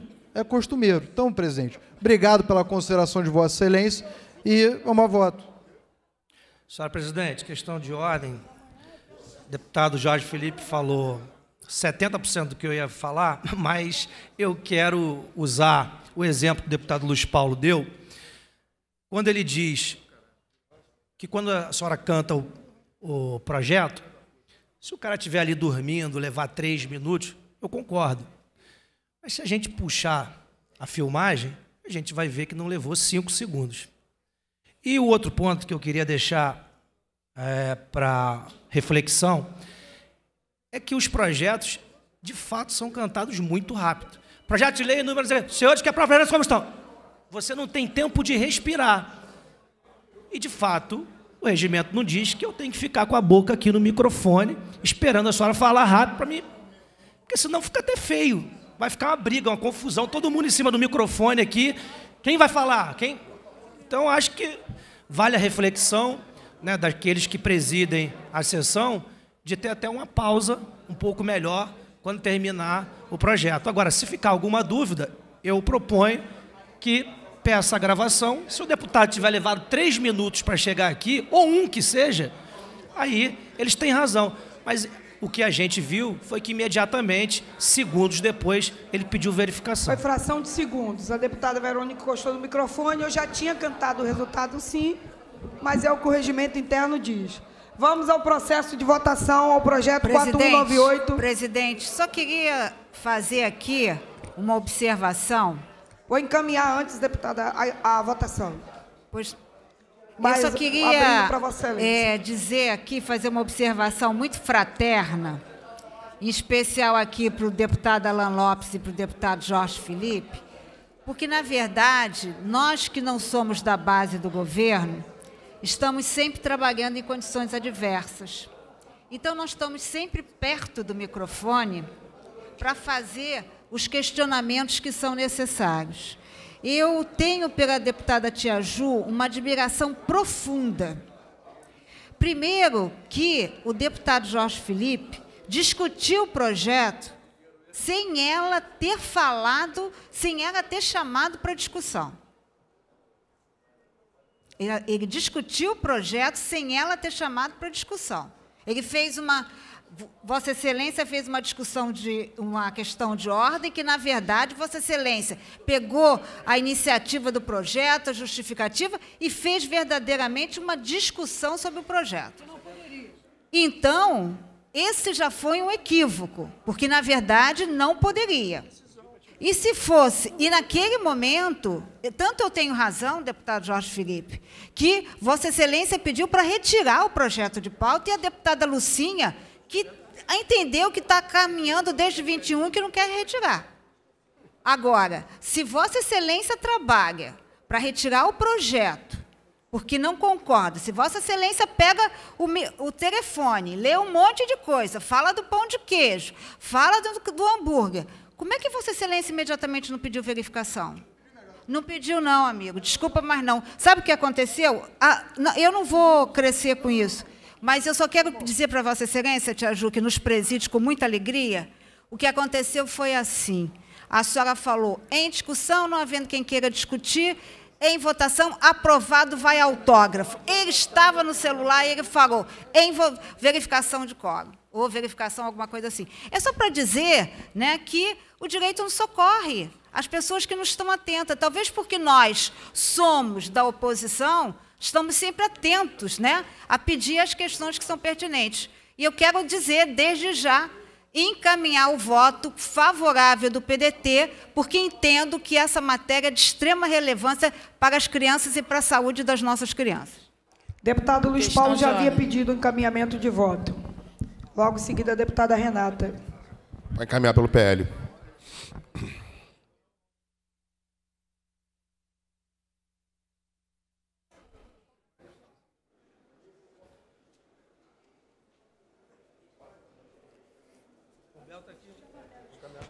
Senhora presidente, deputada Tia Ju, apesar de discordar da decisão de Vossa Excelência, eu respeito a presidência de Vossa Excelência. Porque discordância né, tem que se dar com devido respeito à autoridade do presidente. Feito isto, em respeito à deputada Lucinha, autora desse projeto desde 2021, eu queria solicitar ao líder do governo, doutor Serginho, que nós não entrássemos às vésperas de uma grande decisão, que é o dia de amanhã, numa polêmica sem fim, de voto a voto, de vencedor e vencido. Então, sugeriria a Vossa Excelência que orientasse a sua bancada a fazer cair o quórum, para que a gente não entre em embate prematuramente. Porque isso vai gerar o quê? No dia de amanhã, deputada Lucinha vai pedir verificação de votação em todos os projetos. Então, tira o quórum e depois o projeto volta em um outro momento. É a solicitação, apenas uma solicitação. Feita a solicitação, caso o quórum seja constatado, eu estou pedindo voto sim. Por quê? Porque é muito fácil, deputada Marta Rocha, eu chegar nesse plenário e fazer a defesa do poder econômico. E volte e meia, isto aqui acontece. A defesa do poder econômico em detrimento da nossa infância e adolescência.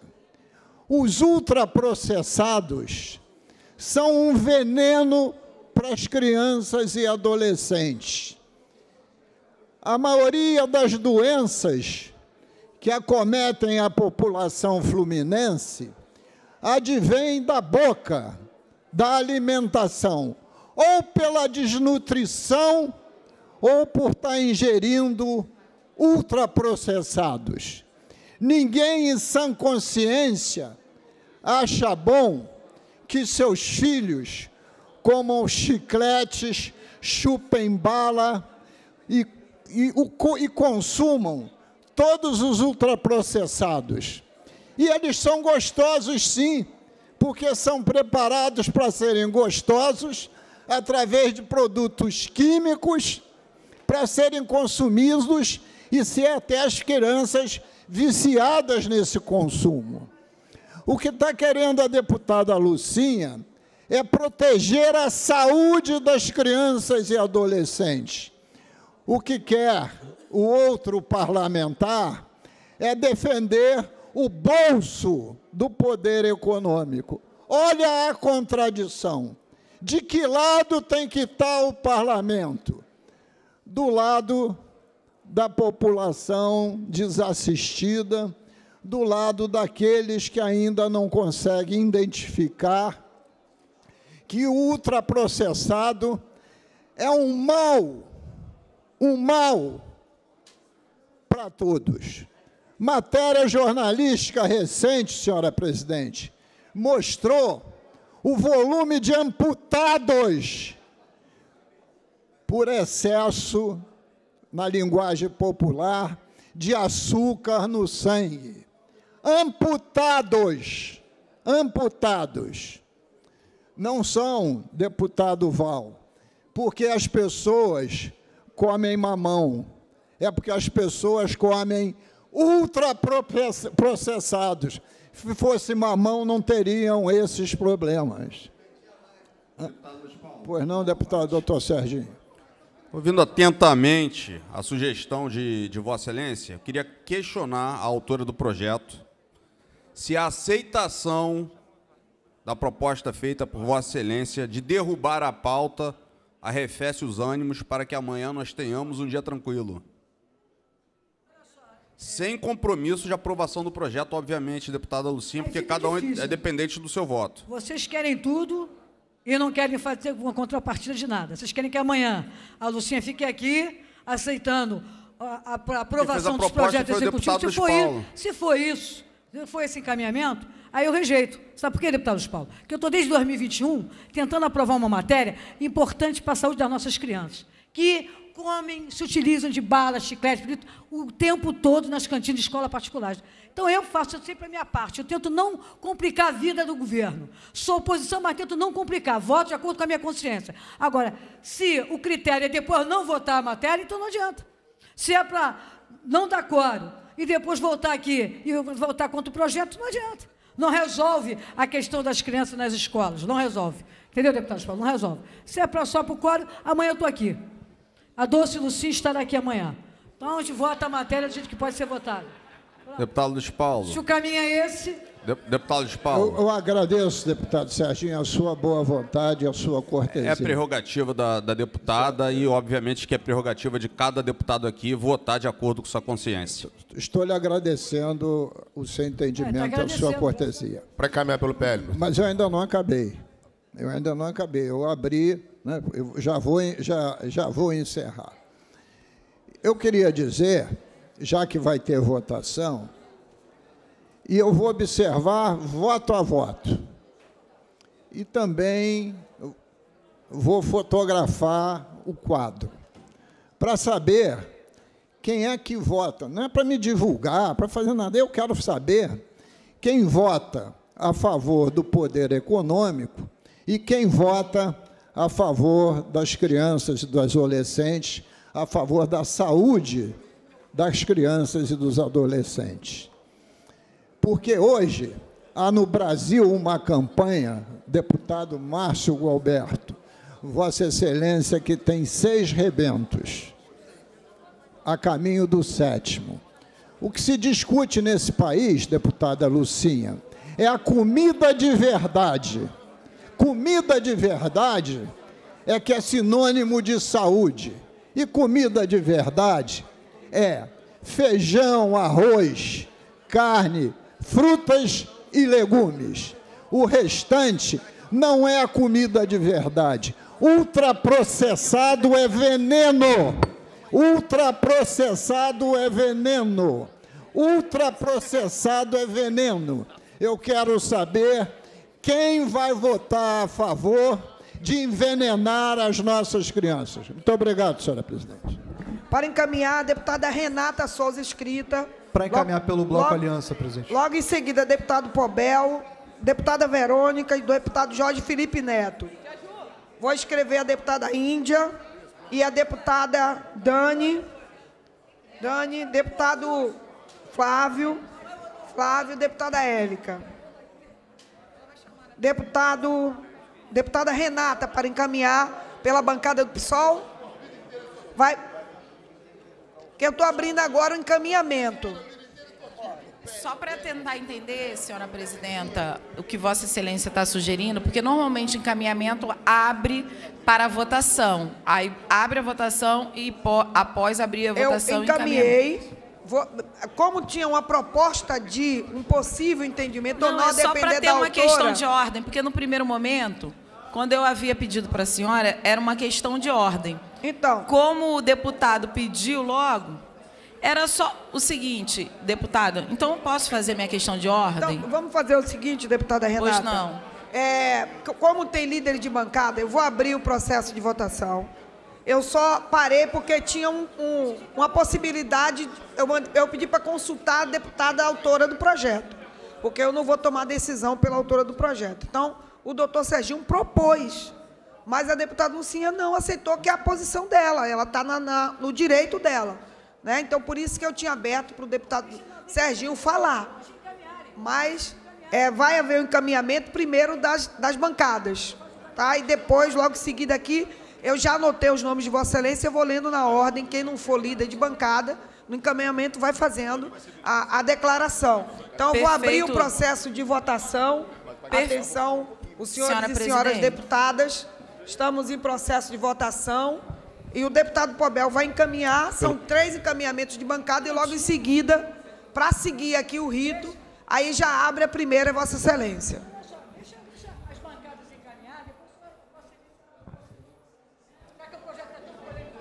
Então, as, as bancadas já estão caminhando, deputado Lucinho. O deputado, é, o deputado Luiz Paulo me pediu encaminhamento e o deputado Pobel já estava escrito para encaminhar. Encaminhar pela bancada. Caminhar pelo PL, presidente. Presidente, primeiro quero parabenizar Vossa Excelência pela condução dos trabalhos, fazendo valer o que está no regimento. O deputado Luiz Paulo é o grande defensor do regimento e tem dado aula aqui na Assembleia Legislativa, dá aula para todos nós, que somos meros aprendizes. Agora, nós não podemos deixar um vício do parlamento sobrepor o regimento, deputado. Isso é um vício do parlamento que foi falado aqui.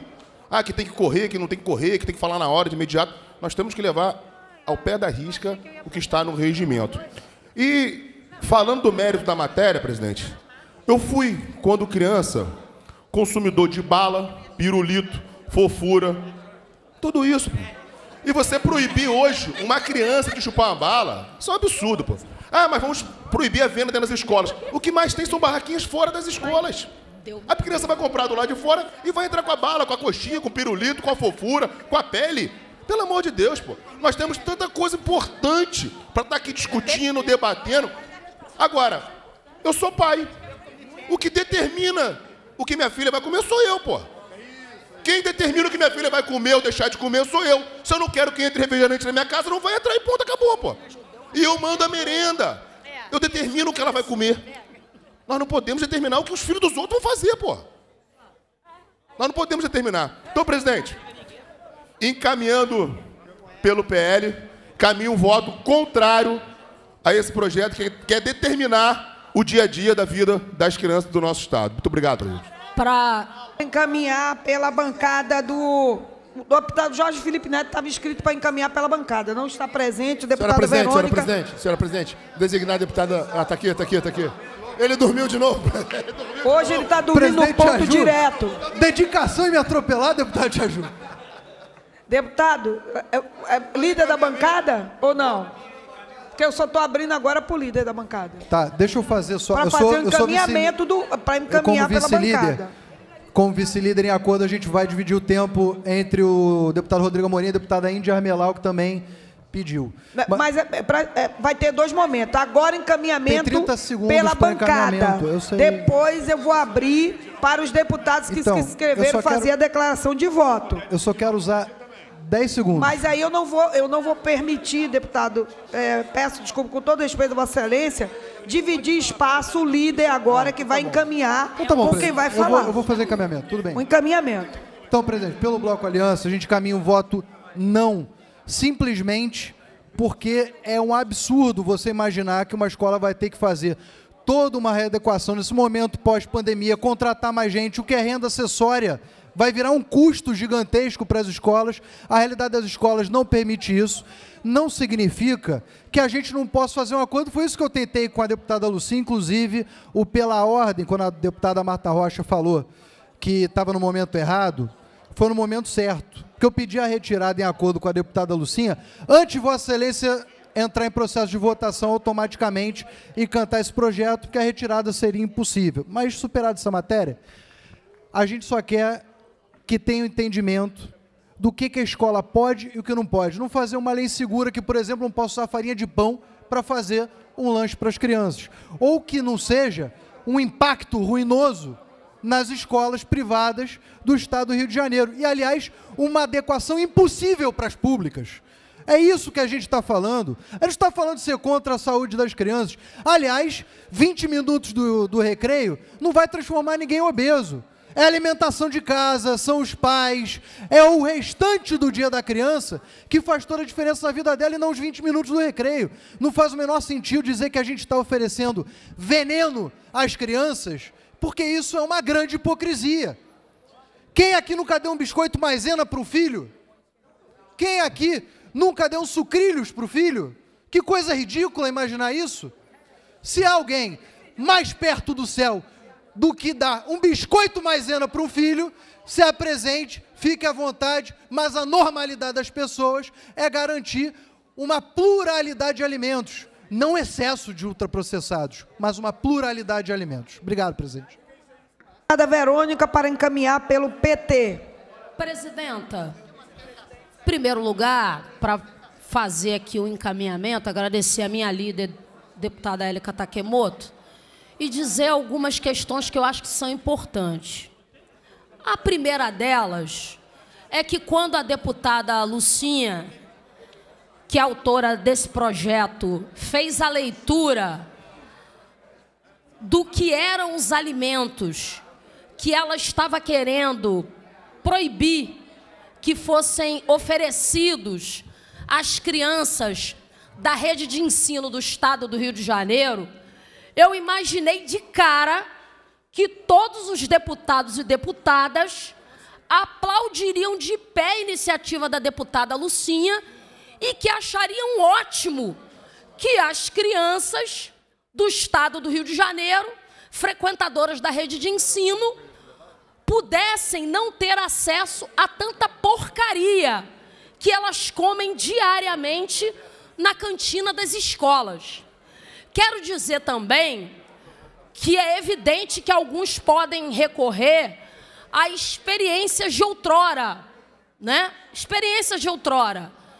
E evidentemente podem se apontar como exemplo. É evidente que comida ultraprocessada para crianças fazem mal, e isso aparecem em todos os indicadores da rede de saúde, pública e privada. Crianças obesas, crianças sem saúde, que vão se tornar um problema e um desafio para o Sistema Único de Saúde.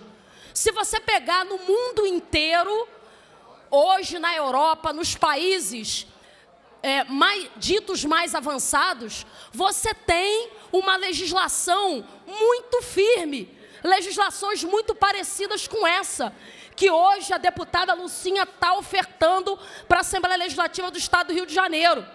E evidentemente que pai e mãe bota regra e determina, mas é papel do Estado sim é papel do Estado oferecer uma boa legislação. Porque tem gente que acha que porque é pai e é mãe, pode fazer tudo com a criança, inclusive coisas ruins. Porque é ruim oferecer comida ultraprocessada para as crianças da rede de ensino.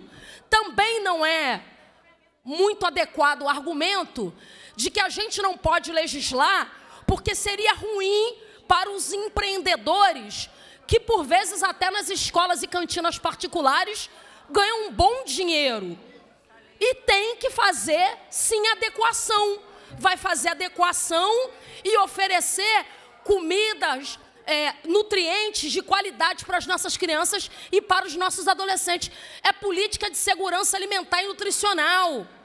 Hoje, quando você faz uma conferência de educação, você discute a, a o desafio que é você oferecer para as crianças e para os adolescentes comida de qualidade. Então, a bancada do Partido dos Trabalhadores vai votar favoravelmente ao projeto da deputada Lucinha e, evidentemente, a gente está vendo, faz mal para o corpo, comida processada, em alguns casos faz mal também para o raciocínio, para a cabeça comer esse tipo de porcaria, comer fofura, um monte de bala, de porcaria, afeta a cabeça das pessoas e dá errado. Dá errado. Não é razoável a gente oferecer comida processada e esse tipo de porcaria para as nossas crianças e os nossos adolescentes. O desafio da humanidade não é caminhar para trás. O desafio da humanidade é caminhar para frente. Nós, quando éramos crianças e adolescentes, tinha um monte de coisa que todo mundo achava normal e que depois a gente viu que não era normal e que não era saudável. Muitos de nós não pôde, não é? Quando era criança e quando era adolescente, usufruir do estatuto da criança e do adolescente. Depois foi apresentado um ECA e as crianças e adolescentes passaram a ter mais direitos. E é direito da criança e do adolescente no ECA, independente do seu pai ou da sua mãe, a ter alimentação saudável. Esse também é um direito da criança e do adolescente que independe do seu pai e que independe da sua mãe. O pai e a mãe pode dar um monte de porcaria se quiser, é verdade. Mas é papel do Estado regulamentar e apresentar leis para que no espaço coletivo a criança possa ter acesso ao cuidado. Nós estamos falando de cuidado. Não pode ser ruim. Não pode ser ruim. Não pode ser errado. Querer fazer com que crianças e adolescentes comam bem, comam frutas, comam legumes, não comam alimentos ultraprocessados que vão fazer mal certamente para o seu corpo e com certeza a gente está vendo aí, também para a cabeça, né? É, só um minuto, deputado Flávio. Senhoras e senhores, é, estamos em processo de votação. É, pediria senhoras e senhores para que votassem, para que a gente possa dar continuidade. Vou abrir aqui para a bancada do PSOL fazer um encaminhamento através do deputado Flávio e logo em seguida vou efetuar a primeira chamada. Deputado Flávio Serafini encaminhar é, fazer um encaminhamento pela bancada do PSOL e o, PS, o PSB e PC do B também. Deputada Tia Ju, eu quero encaminhar o voto favorável da bancada do PSOL ao projeto de lei 4198A de 2021 da deputada Lucinha, que restringe a venda de alimentos ultraprocessados nas escolas públicas e privadas do Estado do Rio de Janeiro. Hoje, no Brasil, Cerca de 10% das nossas crianças têm obesidade. Percentual semelhante tem hipertensão. Hipertensão na infância, tia Ju, além do desenvolvimento crescente do quadro de diabetes. O que, que gera nessas crianças hipertensão e diabetes? A falta de alimentação saudável, acompanhada da falta da prática permanente de exercício. É desafio nosso garantir alimentação saudável para as nossas crianças. Mas o deputado Jorge Felipe vem aqui no microfone e fala como se fosse uma coisa do outro mundo oferecer alimentação saudável para as crianças. Eu quero dizer para o deputado que nas nossas escolas públicas hoje do Brasil inteiro existe um programa chamado Programa Nacional de Alimentação Escolar que proíbe proíbe a inclusão de alimentos ultraprocessados com recursos do programa. Além disso, as escolas do Rio de Janeiro também são proibidas de terem cantinas privadas.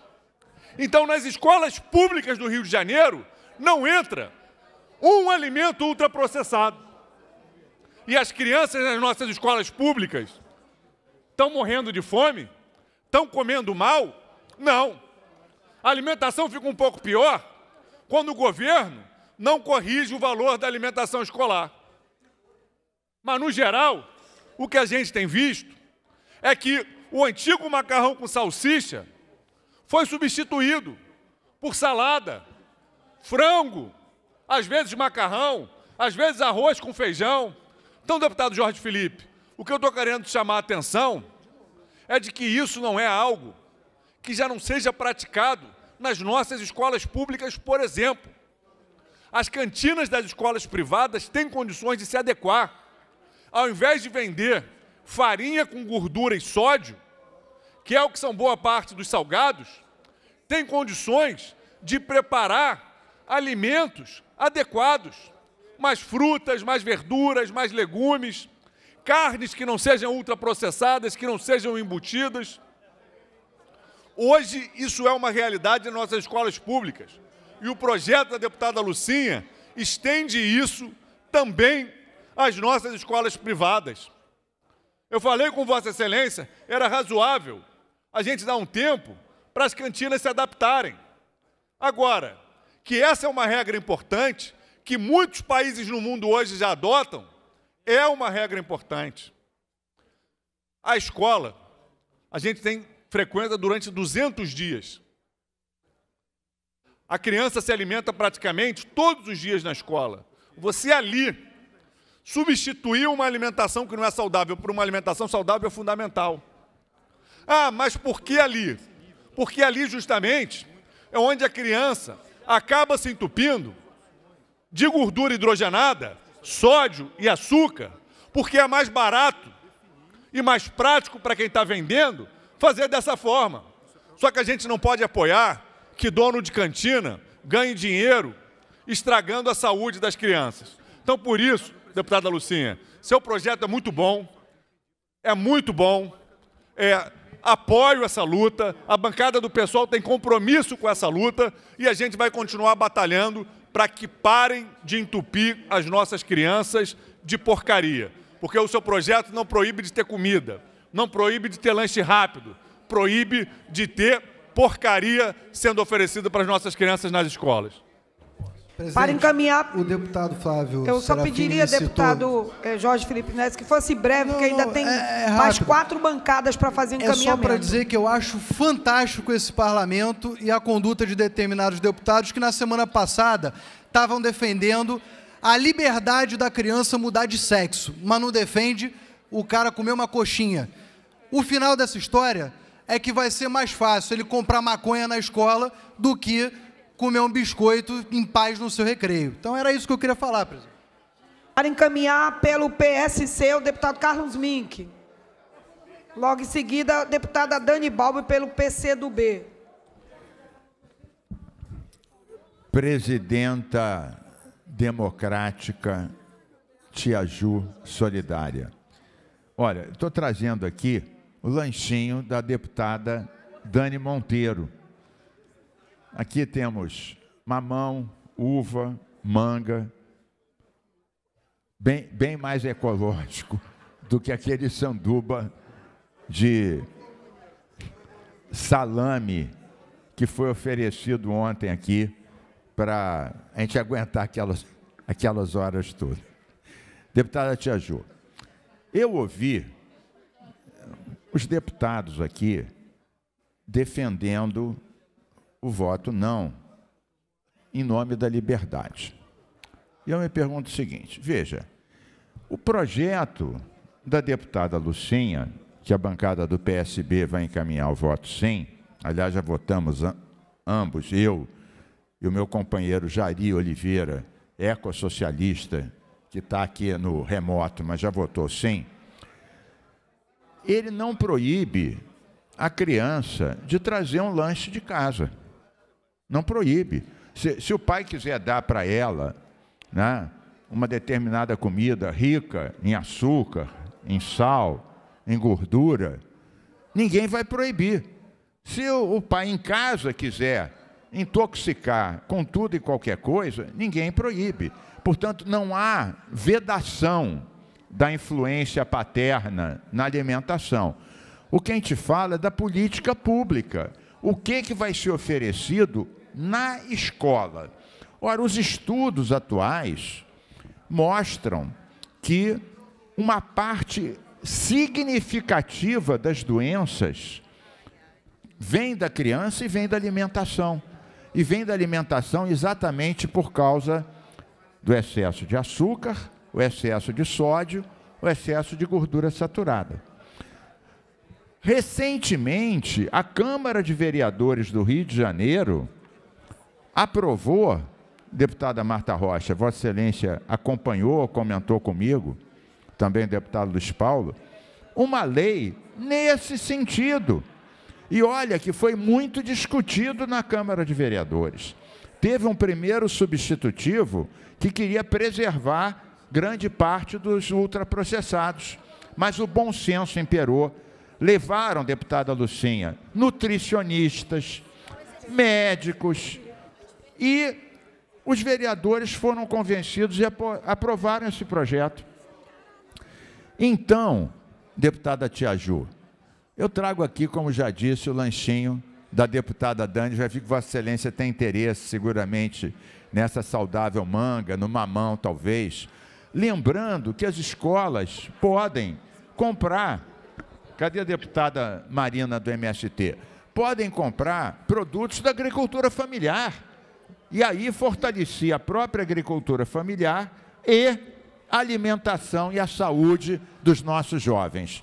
Por isso tudo, e para não exasperar a nossa presidente, Tá, que está cuidando do tempo, eu, em nome da bancada do PSB, encaminho o voto sim ao projeto da deputada Lucinha e vou oferecer à deputada Tia Ju, que está há muito tempo aqui, algumas das frutinhas aqui, com condescendência da verdadeira dona das frutinhas, que é a deputada Dani Monteiro. Deputado Samuel Malafaia, é, as bancadas estão fazendo encaminhamento e a gente está em processo de votação. Então, Ah. tem mais a- três bancadas, eu já escrevi o nome de Vossa Excelência aqui para declaração de voto, tá? A, a já- ainda não foi votar. A bancada do PL já, já definiu? eu, eu Não, voto tá em- em contrário. processo de votação. Tem que votar Tá. no, tem que votar no sistema. Já votei, Tia Ju. Então, vai ser declaração de voto, mas aqui ainda Eu está quero, na, então, na- fazer a declaração de voto. a- as bancadas estão encaminhando os votos ainda. Tá bom, Por obrigado. bancada, de nada. Para encaminhar pelo PCdoB, deputada Dani Balbi. Presidenta, um dos panos de fundo da disputa fundiária no plano internacional é certamente o controle da oferta mais vasta possível de gêneros alimentícios. Além, obviamente, da tentativa sempre constante do capital de forçar para baixo o valor eh, da força de trabalho. É, além disso, o que nós temos observado é que há um interesse é, evidente da indústria alimentícia para capturar tudo aquilo que é produzido através da produção e da diversificação da terra, a partir da imposição da monocultura e da drenagem dos produtos é, das co- economias periféricas do capital, produtos diretamente ligados à primeira produção da terra, portanto pouco processados, para o processamento no centro do capitalismo. Isso é, vem se desenhando há muito tempo e a materialização disso é justamente a diversificação na outra ponta do processo de gêneros alimentícios extremamente processados, os ultraprocessados. E nos últimos anos, a gente tem visto o impacto que isso tem na saúde da população, sobretudo da classe trabalhadora. Uma população de obesos que aumentou significativamente nos últimos anos, na mesma medida que aumentou a oferta desses produtos ultraprocessados e a diminuição da cultura da produção do alimento aumento de doenças coronárias, obstrução coronária em crianças menores de 10 anos. Além disso, é, de obesidade, de obstrução coronária, o índice de diabetes infantil tem prejudicado as crianças. Crianças que, como foi falado aqui, chegam antes da idade adulta a uma situação de necessidade de amputação de membros, porque são vítimas da indústria do alimento que, como eu disse, ataca não só a saúde das crianças de toda a classe trabalhadora, mas que tem um papel fundamental na disputa sobre a terra, sobre o controle e sobre a entrega que fazem as trabalhadoras e os trabalhadores do campo, no sentido da entrega da autonomia. O que, que houve, deputada?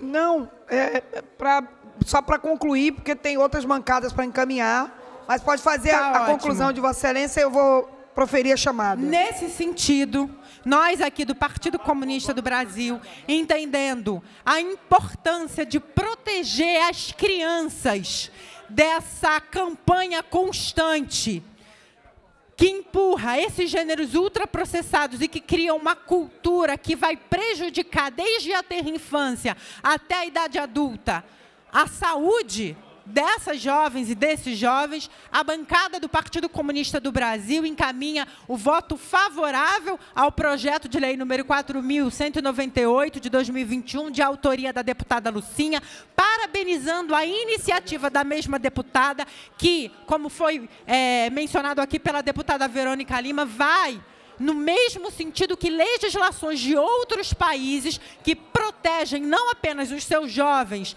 dessa campanha maciça para a a- o que empurra essas jovens e esses jovens para o consumo de alimentos ultraprocessados, é, mas também tem um impacto significativo no sistema de saúde, principalmente no sistema público de saúde, que é quem mais tarde vai colher as demandas dessas jovens e desses jovens.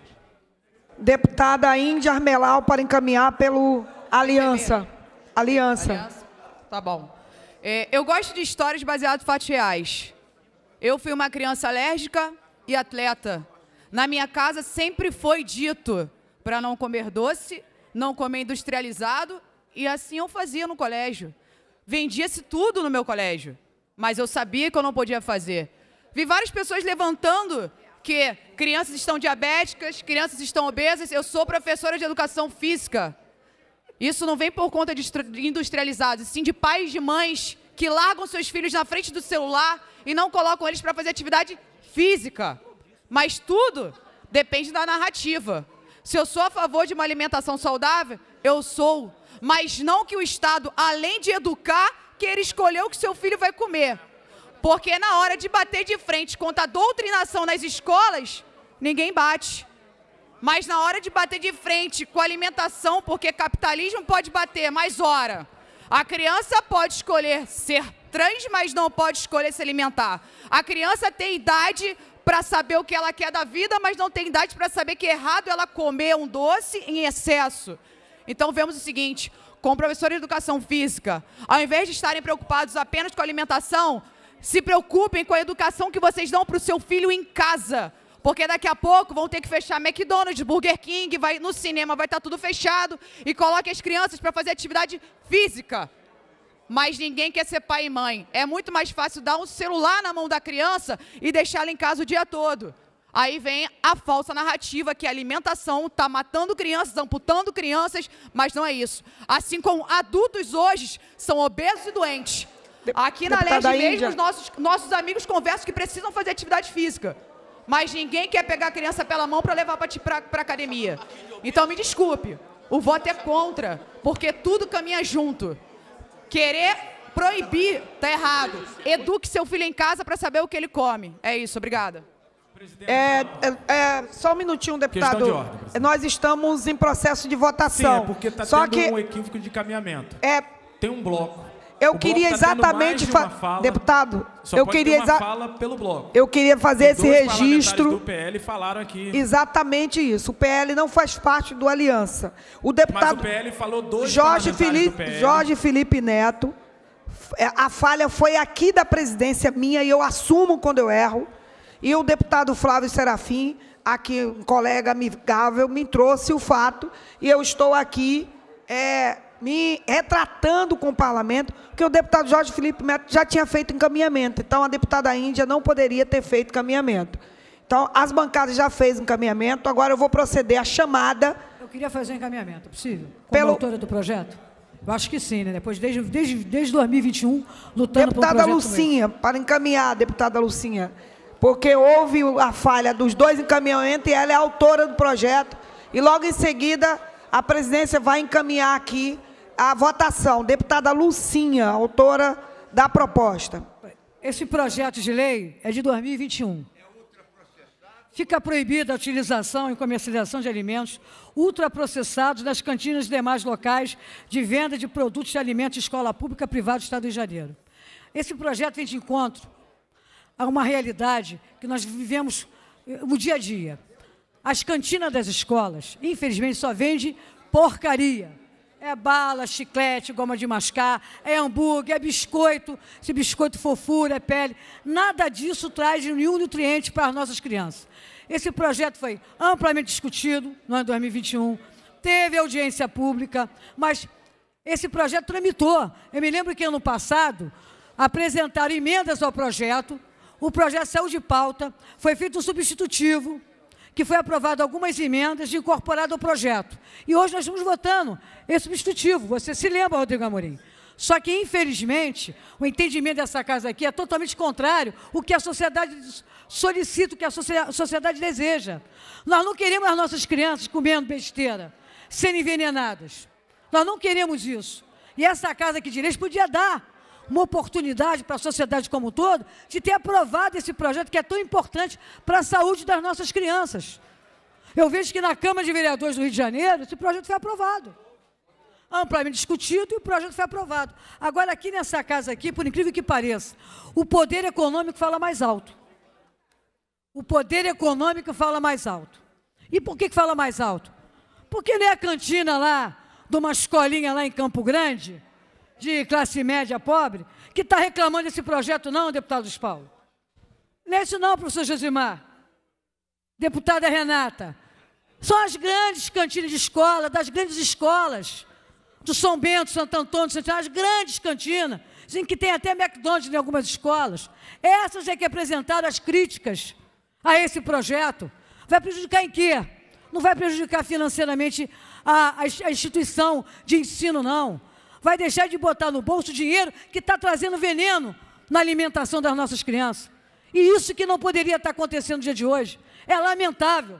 Eu lamento que os parlamentares aqui dessa casa tenham votado uma matéria como essa.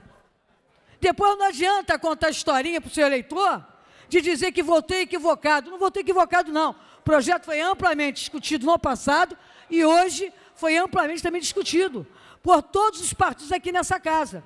Então não consigo entender, deputada Tia Ju, como é que os deputados aqui dessa casa, que têm filhos, que vão ter netos, que vão ter as próximas gerações, admitem votar um projeto como esse, admitem votar um projeto como esse, que vai trazer malefício para as nossas crianças, para os nossos jovens.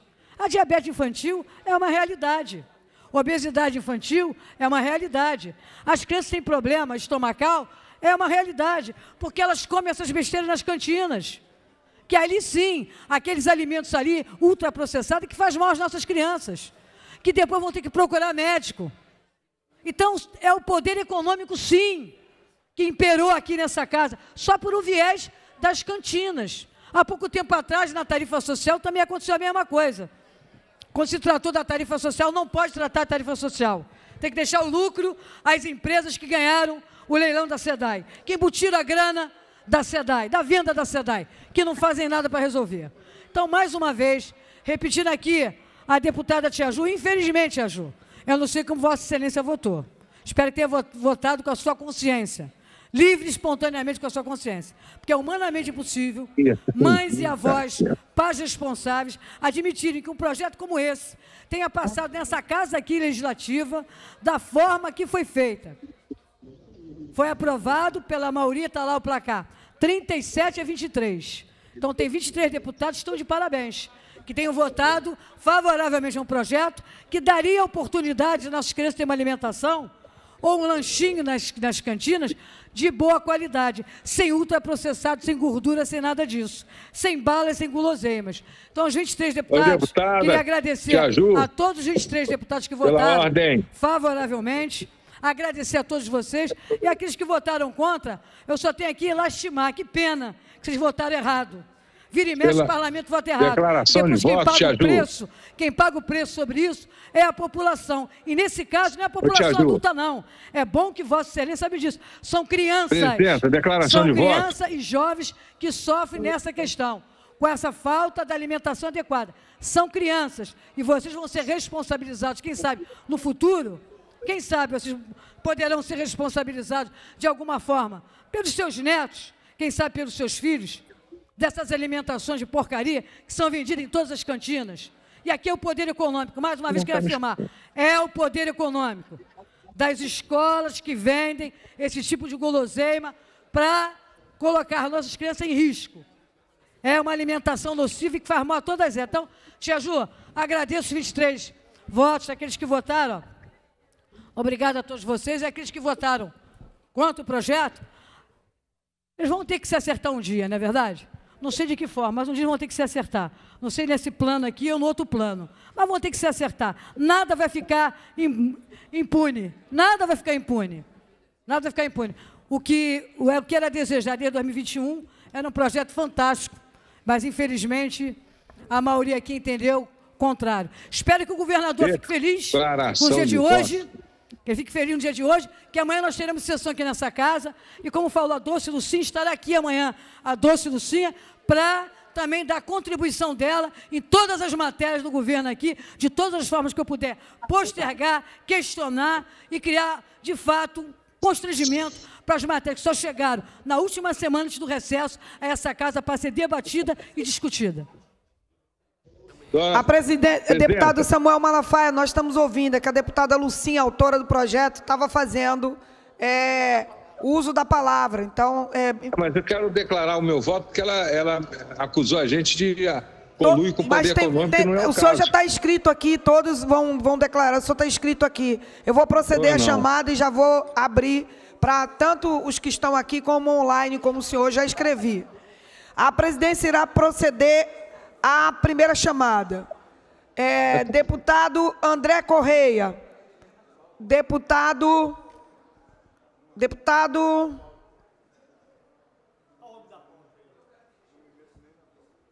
Léo Vieira. Deputado Samuel. Já votou. Deputado Valdo Ceasa. Deputado Valdeci da Saúde. Deputado Vinícius Cozolino. Deputada Zeidan. A presidência irá proceder à segunda chamada. Deputado André Correia. Deputado Léo Vieira.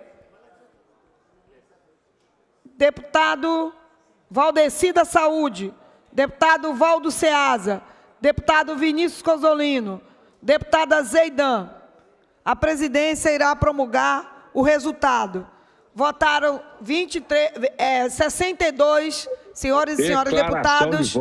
Vai declarar, deputado Samuel. Eu só estou cantando aqui o resultado e já vou começar a chamar é, Sim, os, senhora. os inscritos para declaração de voto. Eu preciso só proclamar aqui o resultado da votação.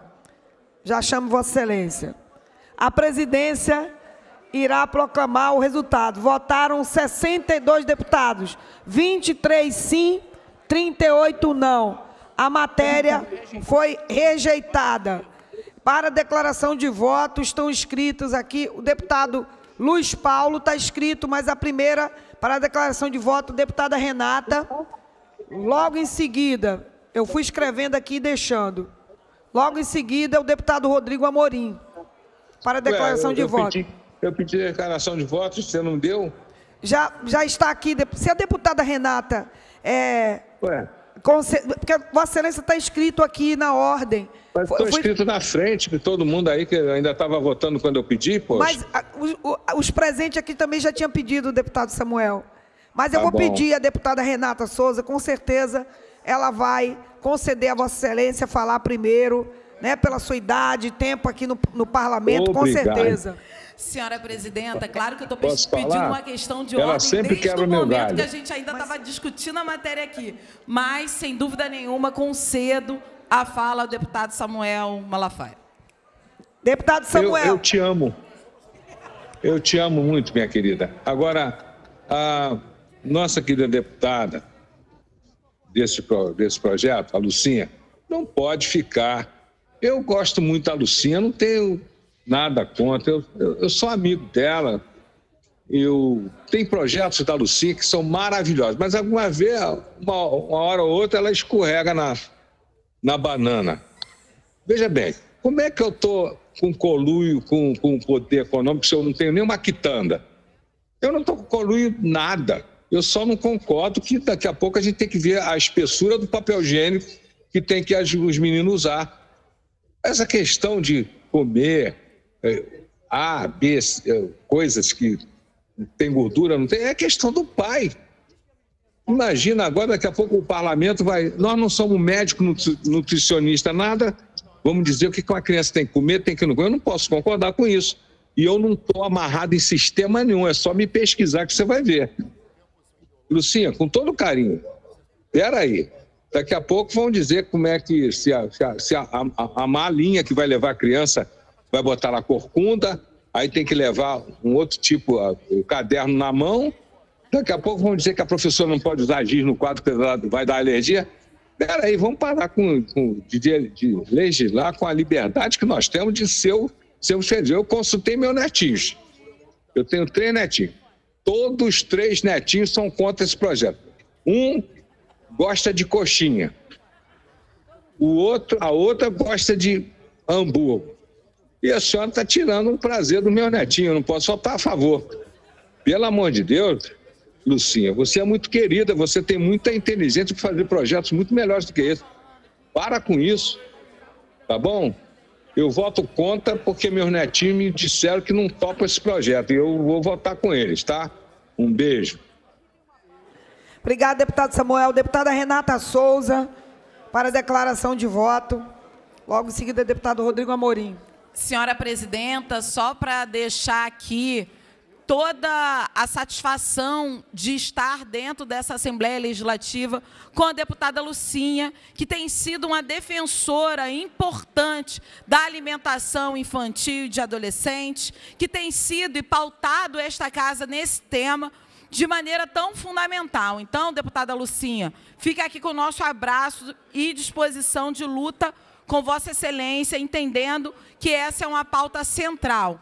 E aí, falar para o deputado Malafaia que, infelizmente, é isso mesmo, o vovô e a vovó fazem as vontades das crianças, mas os pais que se cuidem para prevenir doenças é, que vão sendo é, diagnosticadas muitas vezes, não só na infância, mas na adolescência, e também quando se torna um adulto, doenças provindas de não comidas, porque a gente sequer pode chamar isso de comida, mas são produtos alimentícios oferecidos nas cantinas da escola, longe dos olhos do, dos pais e das mães. Então, nesse sentido, senhora presidenta, temos aqui um, uma, um observatório de alimentação escolar que diz o quanto que nossas crianças têm risco de morte. E, na verdade, são associadas a essa lógica de produtos alimentícios. Ao ano, no Brasil, 57 mil crianças com mortes precoces no nosso país por contas de doenças como diabetes, hipertensão, problemas renais, obesidade e até câncer. Ou seja, o que se pretendeu aqui, o projeto apresentado pela deputada Lucinha, é fazer um debate sobre saúde pública. É muito menos um debate sobre o que vai comer ou o que não vai comer. Está fazendo um debate sobre a possibilidade de vida plena de crianças e adolescentes que passam horas nas, nas escolas e que há, sim, um interesse, obviamente, econômico dessas grandes cantinas nesses colégios. Não há dúvida sobre isso. Mas é evidente que o que a gente está falando aqui é de prevenção de doenças importantes. A obesidade infantil desafia as autoridades médicas, desafia a pais e mães que olham para os seus filhos e os responsáveis, enfim, que olham para os seus filhos, seus, suas crianças e adolescentes e não consegue fazer ali que ela tenha uma, uma, uma alimentação adequada quando ela chega na escola, porque na escola não tem ninguém olhando de maneira concreta para que essa alimentação seja nutritiva e que faça sentido à saúde dessa criança e desse adolescente. Então, senhora presidenta, declarar o meu voto favorável, lamentar, infelizmente, que a gente não conseguiu a aprovação aqui é, no Estado, na, como a deputada Lucinha falou, foi aprovado na Câmara dos Vereadores e das Vereadoras da cidade do Rio de Janeiro. Então, a gente perde a oportunidade de pensar numa política pública de saúde e segurança alimentar para as nossas crianças e adolescentes.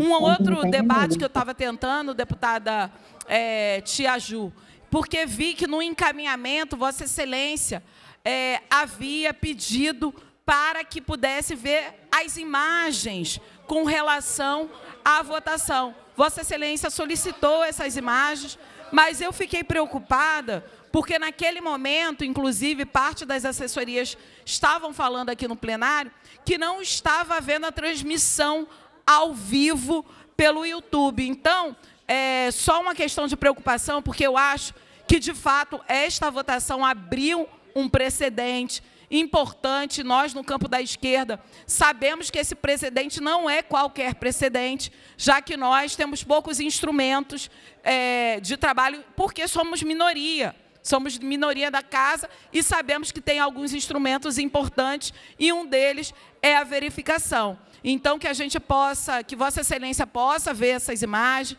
que a gente possa ter aí a melhor transparência fundamental sobre é, todos os a, o rito, né, parlamentar que é fundamental para que nenhum deputado ou deputada se sinta prejudicado no processo. Então, muito obrigada, eh, deputada Tia Ju, e parabéns, deputada Lucinha. Sigamos pela saúde das nossas crianças e adolescentes. Deputada Renata, eu solicitei, pode ter tido algum é, problema de transmissão, mas aqui estava sendo gravado. É. Deputado é, Rodrigo Amorim, eu pediria que as declarações de voto não se estendessem muito, Serei muito breve. para que a gente possa... dar- Fica aqui o. Eu, eu consigo compreender a lógica da deputada autora do projeto, que acredito ser algo que ela de fato defenda como uma pauta é, em prol dessa questão relacionada à obesidade das crianças, da defesa de uma alimentação de saudável e tudo mais. Então, legítima ah, a autoria do projeto e o encaminhamento do projeto. Agora, eu não posso deixar de me manifestar, em primeiro lugar, no que diz respeito à liberdade econômica. A gente precisa criar uma cultura, e é algo que eu defendo, da não interferência do Estado, do Poder Legislativo na atividade econômica crucial para esse país, para a geração de emprego, para a arrecadação tributária. É, essa Assembleia Legislativa precisa criar de uma vez por todas uma cultura de não infernizar a vida do empresário. O dono de escola, empresário, empreendedor, que monta o seu negócio, que explora uma atividade que é legítima, mas é uma atividade que requer toda a, a lógica ali de contato direto com as crianças, no aspecto educacional. O empresário tem uma carga tributária, tem fiscalização, e é que a gente não pode é atrapalhar muito ajuda o político, seja do executivo ou do legislativo, que não atrapalhe a vida do empresário. Esse é o primeiro ponto de inflexão que eu quero fazer nessa tarde. O segundo ponto é no que diz respeito à liberdade do indivíduo. A gente tem defendido aqui não só a liberdade que tem sido ultrajada o tempo inteiro, do parlamentar poder se manifestar na tribuna à luz da Constituição Federal. A liberdade do indivíduo, à luz da Constituição Federal, poder dirigir a sua própria vida. Então, eu não posso também ser favorável a um projeto que, ao meu ver, aflige e afeta a liberdade do indivíduo e, sobretudo, deputado Fred Pacheco, a liberdade das famílias. Eu tenho dois filhos em idade escolar e quem define o que os meus filhos vão comer sou eu, a minha esposa. É a minha família que define a vida dos meus filhos e não uma lei e não a vontade de uma vertente política. E faço aqui a última ponderação que me, não vou dizer que me espanta, porque nada mais me espanta no que se refere à contradição, à hipocrisia, sobretudo da ala progressista nessa casa. Se insurgem contra a questão da alimentação, dos tais alimentos ultraprocessados, mas a bancada da droga, ela não move uma palha, ela não faz uma manifestação, ela não faz uma fiscalização naquilo que a gente tem denunciado nesse parlamento. E aí eu falo, por exemplo, ora, olha contra, contra contradição, não se pode consumir alimentos ultraprocessados, mas se pode consumir droga dentro de sala de aula. Se pode transformar a UERJ numa cracolândia. Eu tive lá com o deputado Alan Lopes faz 15 dias e a gente viu uma cracolândia instalada dentro da Universidade do Estado do Rio de Janeiro. Ora, pode, não pode comer fofura, mas pode fumar maconha. Onde já se viu isso, deputada? Então, por conta dessas aberrações, por conta dessa incongruência, defendida pela bancada da droga, que se insurge contra o fofura, mas não se insurge contra a maconha, o meu voto, por óbvio, não pode ser favorável. Então, fica aqui o registro do meu voto contrário ao projeto, em defesa da liberdade das famílias, em defesa da liberdade das nossas crianças, porque quem dá destino à vida dos meus filhos sou eu, a minha esposa e a minha família. A escola tem que ser uma escola emancipadora, dar português, matemática, geografia e história sem doutrinação ideológica, conteúdo preparando o jovem e a criança para o futuro mercado de trabalho. E não se preocupar com o que o jovem vai comer ou deixar de comer. E aqui fica o apelo. A gente tem que trabalhar para que o jovem, a criança, não use droga, deputado. A bancada da droga se é, se cala com as denúncias que nós fizemos. Há consumo de droga nas escolas é, do Estado do Rio de Janeiro, nas universidades da Escola do Rio de Janeiro. O grande problema, definitivamente, não é o fofura. A gente não pode, por força de lei, bem dizia aqui, conversando com o deputado Pobel, a gente aceita uma campanha para melhores hábitos alimentares, sim. A gente aceita qualquer tipo de programa do governo que afete as escolas estaduais, as escolas públicas e as escolas privadas, no sentido de conscientizar. Agora, proibir, não mais. E faço mais uma vez o desafio. A deputada Índia revela aqui que muitos deputados da casa não fazem atividade física, se alimentam mal. Assim como fica mais uma vez. Imagina se aprovássemos a lei aqui exigindo o exame toxicológico dos deputados nessa casa. Ia ter muito deputado que não passaria nesse exame e não poderia vir à sessão, seja pelo alcoolismo, seja pela, pelo consumo de droga. Então, a gente não pode definitivamente afetar a liberdade, senhora presidente. Senhora Presidenta, muito brevemente, eu queria que pedir um pela ordem para anunciar que estão aqui jovens parlamentares juvenis da 13ª edição do Parlamento Juvenil. Eles estão aqui empenhados em ajudar e contribuir para a 14ª edição, que já está no seu período final de inscrição e começa uma parte que é muito boa, que dinâmica, que fala das nossas escolas, que é a parte das eleições. Então, etapas de fato para eleger os próximos parlamentares. Pediria à presidência que se pudesse anunciar a presença deles e homenageá-los de estarem aqui. Parabéns aos alunos da décima edição do Parlamento Juvenil. Está à frente aí o nosso deputado é, Daniel Liberon. Parabéns, sejam muito bem-vindos ao nosso parlamento sempre. É, fiquem à vontade, já comece a se inteirar com essa casa. Próxima inscrita, a deputada Élica Takimoto. Obrigada, presidenta. Eu queria primeiro falar como, como professora que, que sou e entendendo bem que o papel da escola, como apontado aqui pela, pelos deputados e deputadas que me antecederam, é educar. E educar exatamente para a gente ter um ser humano saudável que consiga refletir, que consiga pensar, que consiga atuar na sociedade. E a gente sabe, por várias vezes, a dificuldade de você ensinar é, crianças e jovens que não estão bem alimentados. Então, se a gente sabe que a gente precisa, para ter um cérebro ativo, uma boa alimentação, eu acho que nada mais natural do que a própria escola ensinar os bons alimentos para o bom funcionamento do cérebro. Mas isso aqui é da minha vivência. Agora, a outra parte de um outro lugar que eu também, de que eu também vim, que é da academia, como pesquisadora que sou e como amante da ciência, vindo desse campo, eu acho que a gente, o que eu vi aqui nesse painel, muita gente votando não, é muita gente votando, na verdade, contra a ciência.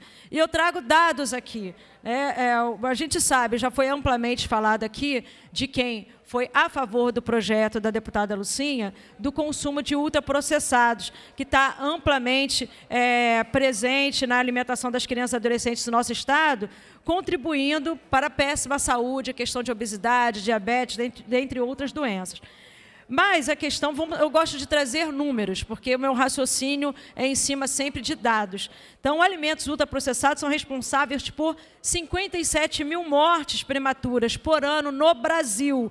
E é, o pesquisador do Observatório Brasileiro de Hábitos Alimentares, Eduardo Nilson, publicou os resultados do estudo inédito que estima as mortes prematuras atribuíveis ao consumo de alimentos ultraprocessados no Brasil. E isso foi publicado numa revista internacional, é American Journal of Preventive Medicine. Não sei bem se a, a pronúncia é essa. Mas, enfim, aponta aqui que alimentos ultraprocessados são produtos e formulações industriais feitas com ingredientes extraídos de alimentos ou feitos em laboratórios. E o quanto que isso faz mal para a nossa dieta. Também apontado em vários estudos que comer alimentos ultraprocessados aumenta significativamente, significativamente o risco de câncer coloretal nos homens e pode levar a doenças cardíacas e morte precoce em homens e mulheres, de acordo com novos estudos feitos em, nova, em escalas, em grande escala, com pessoas nos Estados Unidos e na Itália, no periódico britânico DBMJ. Foi estimado também, trago números, que eu gosto de trabalhar em cima de números, que em 2019, aproximadamente mais de 10% das mortes entre pessoas de 30 e 69 de anos, ou seja, é, 57 mil mortes foram causadas por consumo de alimentos ultraprocessados. E esse número também corresponde a 21,8% das mortes prematuras por doenças crônicas não transmissíveis preveníveis. Então, se o consumo desses produtos fosse reduzido ao que a população consumia há, é, há uma década, 21% dessas mortes seriam evitadas. A gente está falando de uma redução entre 10% e 50% no consumo de ultraprocessados, poderiam reduzir de 5.900 a 29.300 mortes por ano. Então, eu trago aqui esses dados, e quando eu vi o projeto da deputada Lucinha, eu imaginei imediatamente que não fosse ter absolutamente é, ninguém contra, que esses dados apontem exatamente a necessidade de políticas com múltiplos componentes e que promovam escolhas alimentares saudáveis, reduzindo o consumo de ultraprocessáveis. Eu acho que a casa, essa casa serve exatamente para isso. E muito me admira ter ouvido aqui deputados que me antecederam, falando que a gente não pode definir o que vai ou o que não vai comer, ou o que a pessoa pode ou não pode fazer. Daí eu me pergunto, o que o deputado está fazendo nessa casa de leis? Se aqui exatamente o propósito dessa casa é fazer leis, ou seja, estabelecer, estabelecer exatamente o que a gente pode ou não pode fazer para o melhor funcionamento da sociedade. É isso que eu queria pontuar. Deputado, presidente, muito obrigado. Deputado. Luiz Paulo para declaração de voto. Logo em seguida, Deputada, deputado pra- Fred Para proibir Pacheco. comer, não, não, tô, não sei o que, que é isso. Não.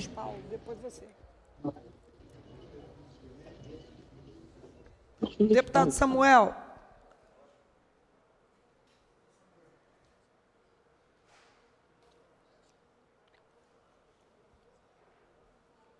Senhora presidente, senhoras e senhores deputados, para aliviar um pouco a tensão, eu ouvi aqui, em tom de brincadeira, o deputado dizer assim: Mas a deputada Lucinha, o meu neto gosta de bala, o outro de hambúrguer, quer te trazer o prazer dos meus netos?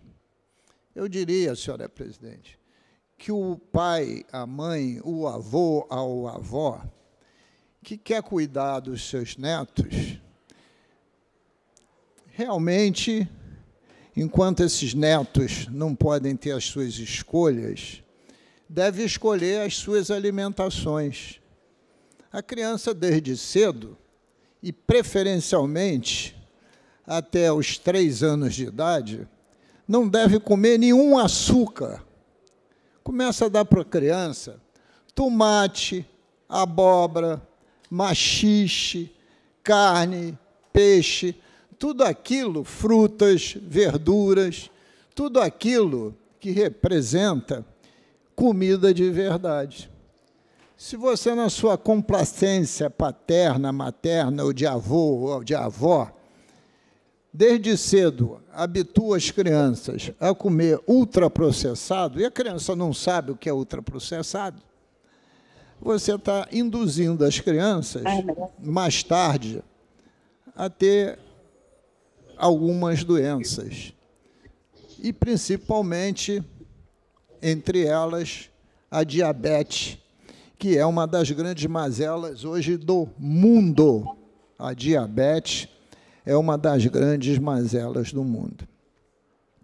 O projeto da deputada Lucinha tem altíssima qualidade. Altíssima qualidade. Eu costumo, senhora presidente, respeitar o voto de todos. Quem vota sim, quem vota não. Eu já sofri o mesmo que a deputada é, Lucinha sofreu hoje. Eu já trouxe à pauta um projeto de lei criando a taxa ambiental em relação à exploração de petróleo, para botar recursos no caixa que hoje está estropiado. Teve audiência pública, passou nas comissões, chegou na hora do plenário, deputado Chico Machado puxou o voto contra, eu fui derrotado e o projeto foi arquivo. Eu esperei mudar o ano, já reapresentei o projeto. Eu sou persistente. Vamos ver se agora o governo vai rejeitá-lo, que agora não tem mais um real da SEDAI. Mas uma questão, deputada Lucinha, me chamou a atenção. O, o governo tem um líder nessa casa, que é o deputado doutor Serginho. E tem aqui o presidente da CCJ, que representa também o governo. O governo jamais deixa os presidentes da CCJ e da Comissão de Orçamento serem de partidos de oposição, que é o deputado Rodrigo Amorim, é o presidente da CCJ. Tanto o deputado Rodrigo Amorim quanto o deputado doutor Serginho foram extremamente flexíveis nas suas interpretações. Tanto é que o deputado Amorim estaria até disposto a dar o parecer contrário às sete emendas.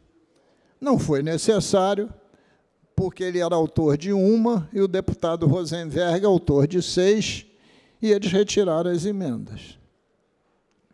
O doutor Serginho aceitou até a minha proposta de derrubada de, de quórum. Estou chamando a atenção para isso, senhora presidente, porque, e aí estou nominando as pessoas, porque o deputado Jorge Felipe Neto chegou aqui em plenário falando em nome do presidente Rodrigo Bacelar. E aí ele não especificou se era do presidente Rodrigo Bacelar ou do governador Rodrigo Bacelar. Acho estranho, porque não é o deputado que simboliza a representação do governo nesta casa, nem tampouco do partido majoritário, que é o PL. Vou até me certificar aqui no quadro novamente. Jorge Felipe Neto é do Avante, que é um partido minoritário.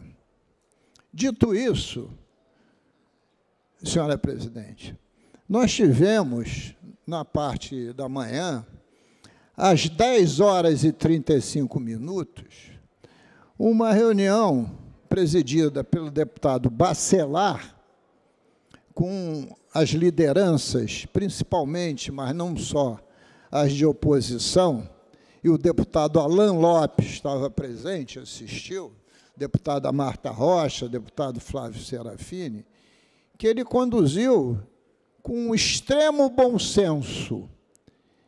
E nem nesse tema não foi tocado, esse tema sequer ventilado. E se acordou alguns procedimentos para a votação de amanhã. Ora, subitamente, o deputado Jorge Felipe Neto aparece em plenário falando em nome do presidente e governador Rodrigo Bacelar. Estranho. Se, mas se for verdade, eu não sei, eu recomendo ao deputado presidente, como mera sugestão, que ele use outro canal, porque este canal é um canal que não satisfaz aos parlamentares que estão na oposição, nem a deputada Lucinha e nem a mim. Ainda mais, diversos parlamentares afirmaram que receberam telefonemas pedindo para votar contra. Como este projeto decidisse a vida do governo. Quando o governo poderia, politicamente, com habilidade, aprovar o projeto e vetá-lo. E vetá-lo. E depois não derrubar o veto. Então, senhora presidente, eu, eu saio daqui hoje né, e vivi os dois extremos no dia de hoje. Quando acabou a reunião na sala do Bacelar com as lideranças, e acabou às 12h30 aproximadamente, eu saí animado. E por quê? Começa a ter colégio de líderes para se buscar entendimento naquilo que é possível. E no que não for possível, cada um faz a sua política, vota como quiser, etc. E isso, evidentemente, prestigia os partidos e prestigia os líderes. Então, um projeto como esse, se tivesse a relevância que passou a ter, poderia passar por uma conversa preliminar. Mas o nome menos indicado seria do deputado que assumiu essa função. Por acaso ou não, senhora presidente, foi o mesmo parlamentar que derrotou, em, nome não sei de quem, o projeto da deputada Lucinha, que queria implantar a tarifa social da água. Então, ou a base do governo está usando os canais inadequados, ou a base do governo está errando na política. Porque se o projeto tinha esta importância, por que, que não chamou os líderes para conversar sobre ele? Vamos interromper um pouco aqui a sessão. Chama os líderes. Mas não. Os telefonemas, inclusive, ajudam a dividir as bancadas. Trabalha-se na divisão. Observei aqui, e para fazer autocrítica, eu começo no meu partido, dois membros do meu partido votaram contra o projeto da deputada Lucinha, companheira do partido e vice-líder da bancada. Dois deputado Luiz Cláudio e o deputado Sérgio Fernandes. No PDT, o deputado Vitor Júnior votou contra o voto da deputada Marta Rocha. Mas chegou a votar, mudou depois. Mas chegou a votar por quê? Porque seguramente alguém foi lá e disse assim: vota assim como eu também virei um dos votos da bancada que eu consegui falar.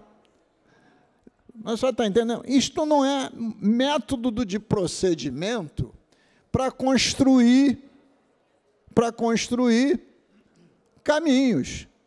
Porque senão a gente vai sentar no colégio de líderes e dizer o seguinte: estou aqui para discutir em nome próprio e os deputados da bancada vão votar como quiser e bem entender. É isso que se deseja? Me parece que não, porque tem, vai ter um determinado momento que, querendo ou não, as lideranças também vão ter um papel. Até porque o líder é escolhido por todos. O líder não é eleito por si próprio. Eu, quando fui eleito líder da bancada, eu falei para os cinco deputados naquele momento presente, um, e dois deles estão aqui, a deputada Lucinha e o deputado Munir, você é líder até o momento que a bancada se reunir, pedir uma reunião e colocar em votação e a maioria disser que não quer mais aquele líder, acabou a liderança. É assim a democracia. É assim a democracia. Isso tanto vale para o líder como vale para os vice-líderes. Né? Então, eu estou só querendo mostrar que o comportamento aqui de hoje não ajuda a construir nada. Ajuda a solapar a confiança, solapar a relação entre os próprios companheiros, ajudar a polêmica e dificultar a construção de futuro. Muito obrigado, senhor presidente. Próximo inscrito, deputado, para a declaração de voto, deputado Fred Pacheco. Eu só queria alertar todos que nós já estamos quase entrando no, no horário regimental de encerramento. Deputado, deputado Fred Pacheco. Obrigado, presidente. Boa tarde a todos e prometo ser breve. Eu só quero é, dizer que também me preocupa a condução deste tema, da forma em que foi conduzido o processo, mas eu queria, de maneira muito respeitosa, é, dizer que respeito muito a iniciativa da deputada Lucinha, ela sabe do meu respeito ao mandato dela, à experiência dela, digo isso com todo o meu carinho, e também ao nobre professor deputado Luiz Paulo. Me preocupou um pouco uma, em uma das falas, e também vi uma deputada, inclusive, tirando uma foto da, de todos os. Do, do, momento da votação, e ali estava o meu nome votando contrário ao projeto da, da deputada Lucinha. Mas eu quero registrar que eu fiz isso com muita consciência, deputada, porque eu, com muito respeito, divirjo da opinião da deputada, mas não por, me, por não me preocupar com a saúde das crianças, de maneira nenhuma. Eu sou pai de uma menina de 12 anos que frequenta a escola e que também faz lanche nas cantinas, que ali se servem destes ultraprocessados. E o que eu digo? A minha filha, por exemplo, não bebe Coca-Cola. A minha filha leva lanche da escola. A minha filha, ela evita comer com a dificuldade que nós temos hoje de tantas demandas, ofertas, aliás, mas ela evita, porque recebeu em casa a educação necessária para saber aquilo que faz bem e o que faz mal. E eu, então, ratifico a, o que o, o nosso deputado Rodrigo Amorim disse. Eu acredito que esta educação precisa vir de casa. Portanto, acho que é ferir a liberdade do estabelecimento de colocar os, os alimentos para que possam ser vendidos. Porque eu também acho que precisa haver um equilíbrio, nem tanto ao céu, nem tanto à terra.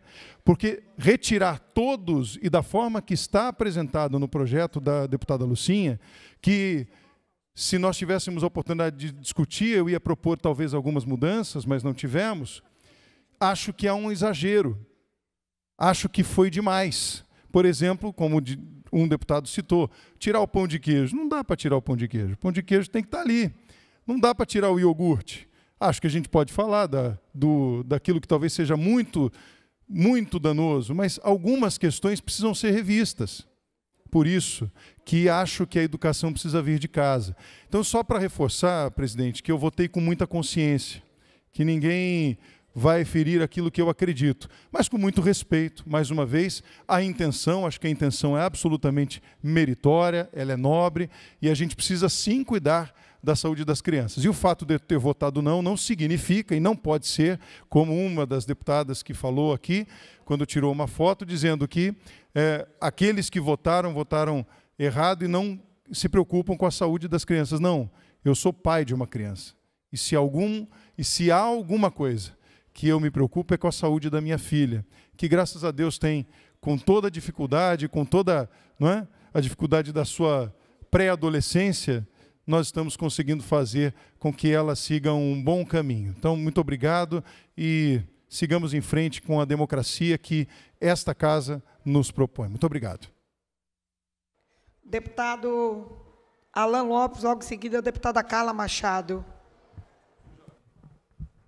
Senhora presidente, queria dizer aqui que talvez da grande maioria dos deputados aqui, é, eu possa me posicionar com muita convicção, porque não estava aqui na primeira discussão do projeto, haja vista que o projeto é de 2021.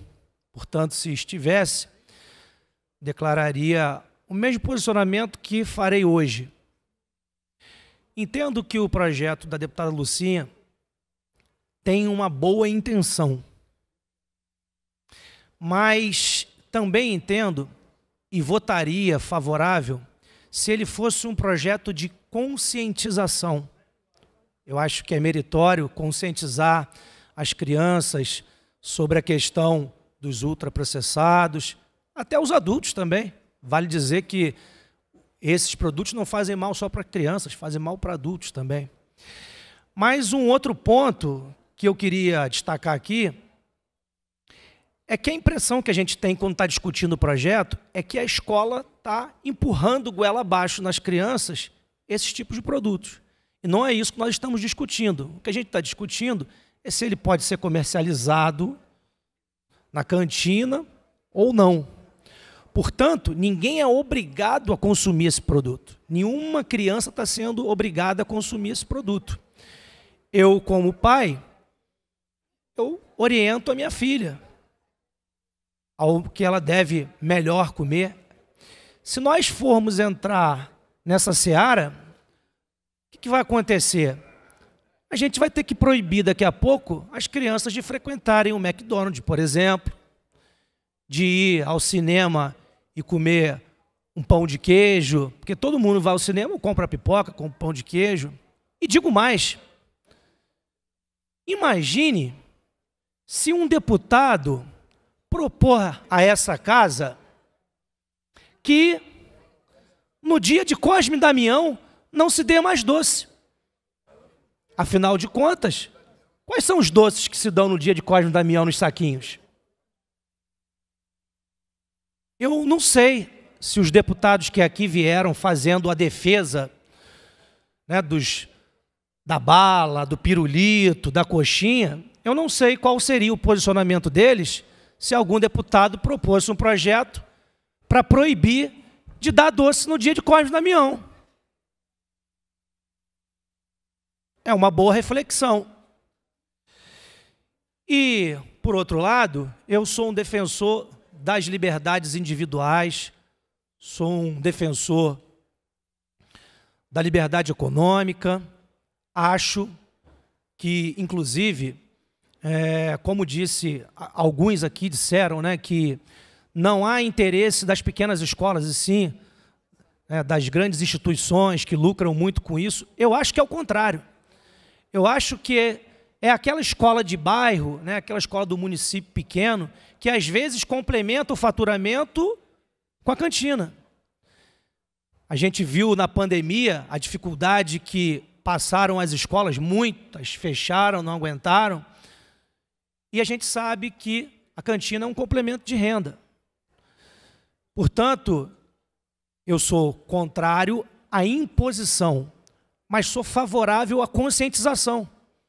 Como eu não estava aqui na primeira discussão, me sinto muito à vontade para dizer que se estivesse, estaria discutindo a conscientização e nunca a imposição, porque imposição nunca é bom em nenhuma situação. Muito obrigado, senhora presidente, e também aproveito para finalizar dizendo que se alguém falou em nome de outrem, aqui eu não sou essa pessoa. Eu estou declarando meu voto por convicção. Obrigado, presidente. Deputada Carla Machado.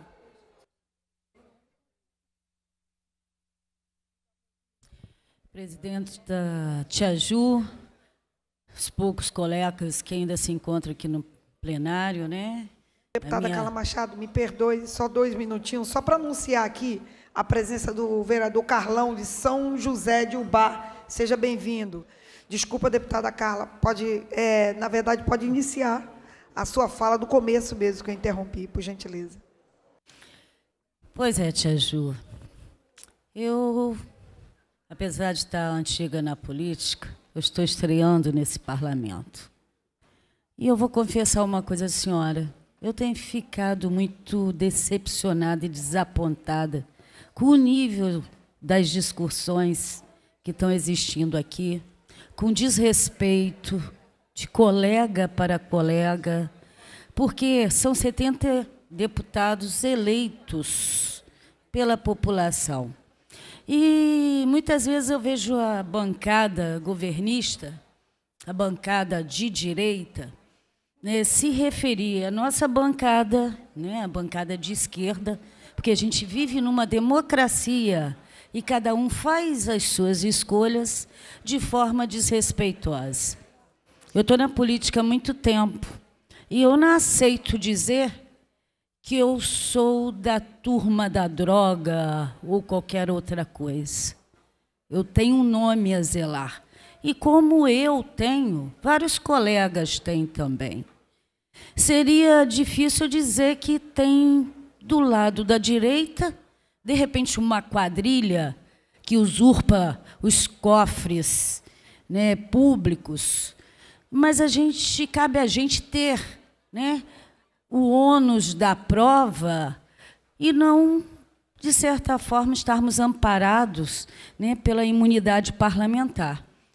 A senhora, como vice-líder dessa casa, vice-presidente dessa casa, a mulher sensível, eu acho que a senhora poderia né, conversar a respeito disso, porque é uma situação que fica insustentável para a gente que preza né, pelo nosso nome, né, que estamos aqui trabalhando em favor de um povo, que fomos escolhidos pelo povo, estarmos ouvindo determinadas coisas, fugindo até do assunto inicial que se temos que nós temos em pauta. Eu quero aqui cumprimentar a deputada Lucinha pela, pelo brilhante projeto. Eu entendo que, deputada, aqueles que tanto falam da moral, dos bons costumes, de repente está aí uma oportunidade de mudar algumas práticas, alguns maus hábitos. E começando pela escola, onde a criança fica apenas meio turno, um turno integral.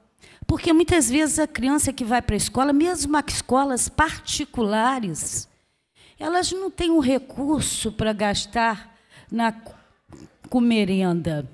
E muitas vezes tem um colega que é mais abastado, que vai lá e compra vários biscoitos, várias balas, vários chicletes. E tem aquele ditado que a gente come com os olhos. Muitas vezes está ali, vê aquele produto, aquilo encanta. Existe toda a propaganda, toda a publicidade também em torno dos produtos. Então, eu vejo que seria uma situação que não faria mal por pouco tempo aqueles que gostam de comer hambúrguer, aqueles que gostam de degustar né, um chocolate, que todos nós gostamos, não é assim, hipocrisia, né? mas que, mesmo sabendo que tanto mal nos faz. Está na hora de mudarmos nossos hábitos. E a escola, como é um espaço para a educação, eu acho que não mataria nenhuma criança que se não tivesse uma cantina ali vendendo produtos que não irão contribuir para a saúde dela, tendo em vista que a mortalidade infantil é imensa em decorrente de vários maus hábitos, principalmente né, o hábito alimentar. Eu acho que esse projeto da senhora, se fosse é, aprovado hoje, ajudaria e muito, não a curto prazo, a médio e longo prazo para que hábitos melhores né, fossem adotados nas escolas, que é o espaço da educação, e evitaria que nós tivéssemos adultos doentes.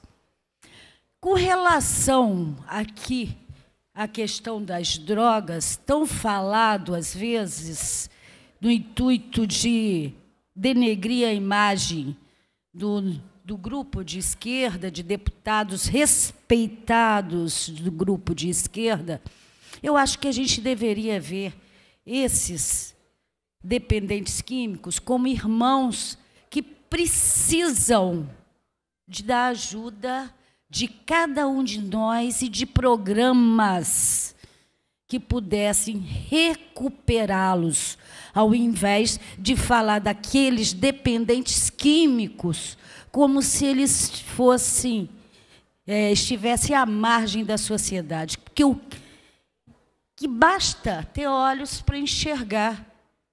A gente vê aí o grande número de dependentes químicos que, que temos né, em toda a sociedade.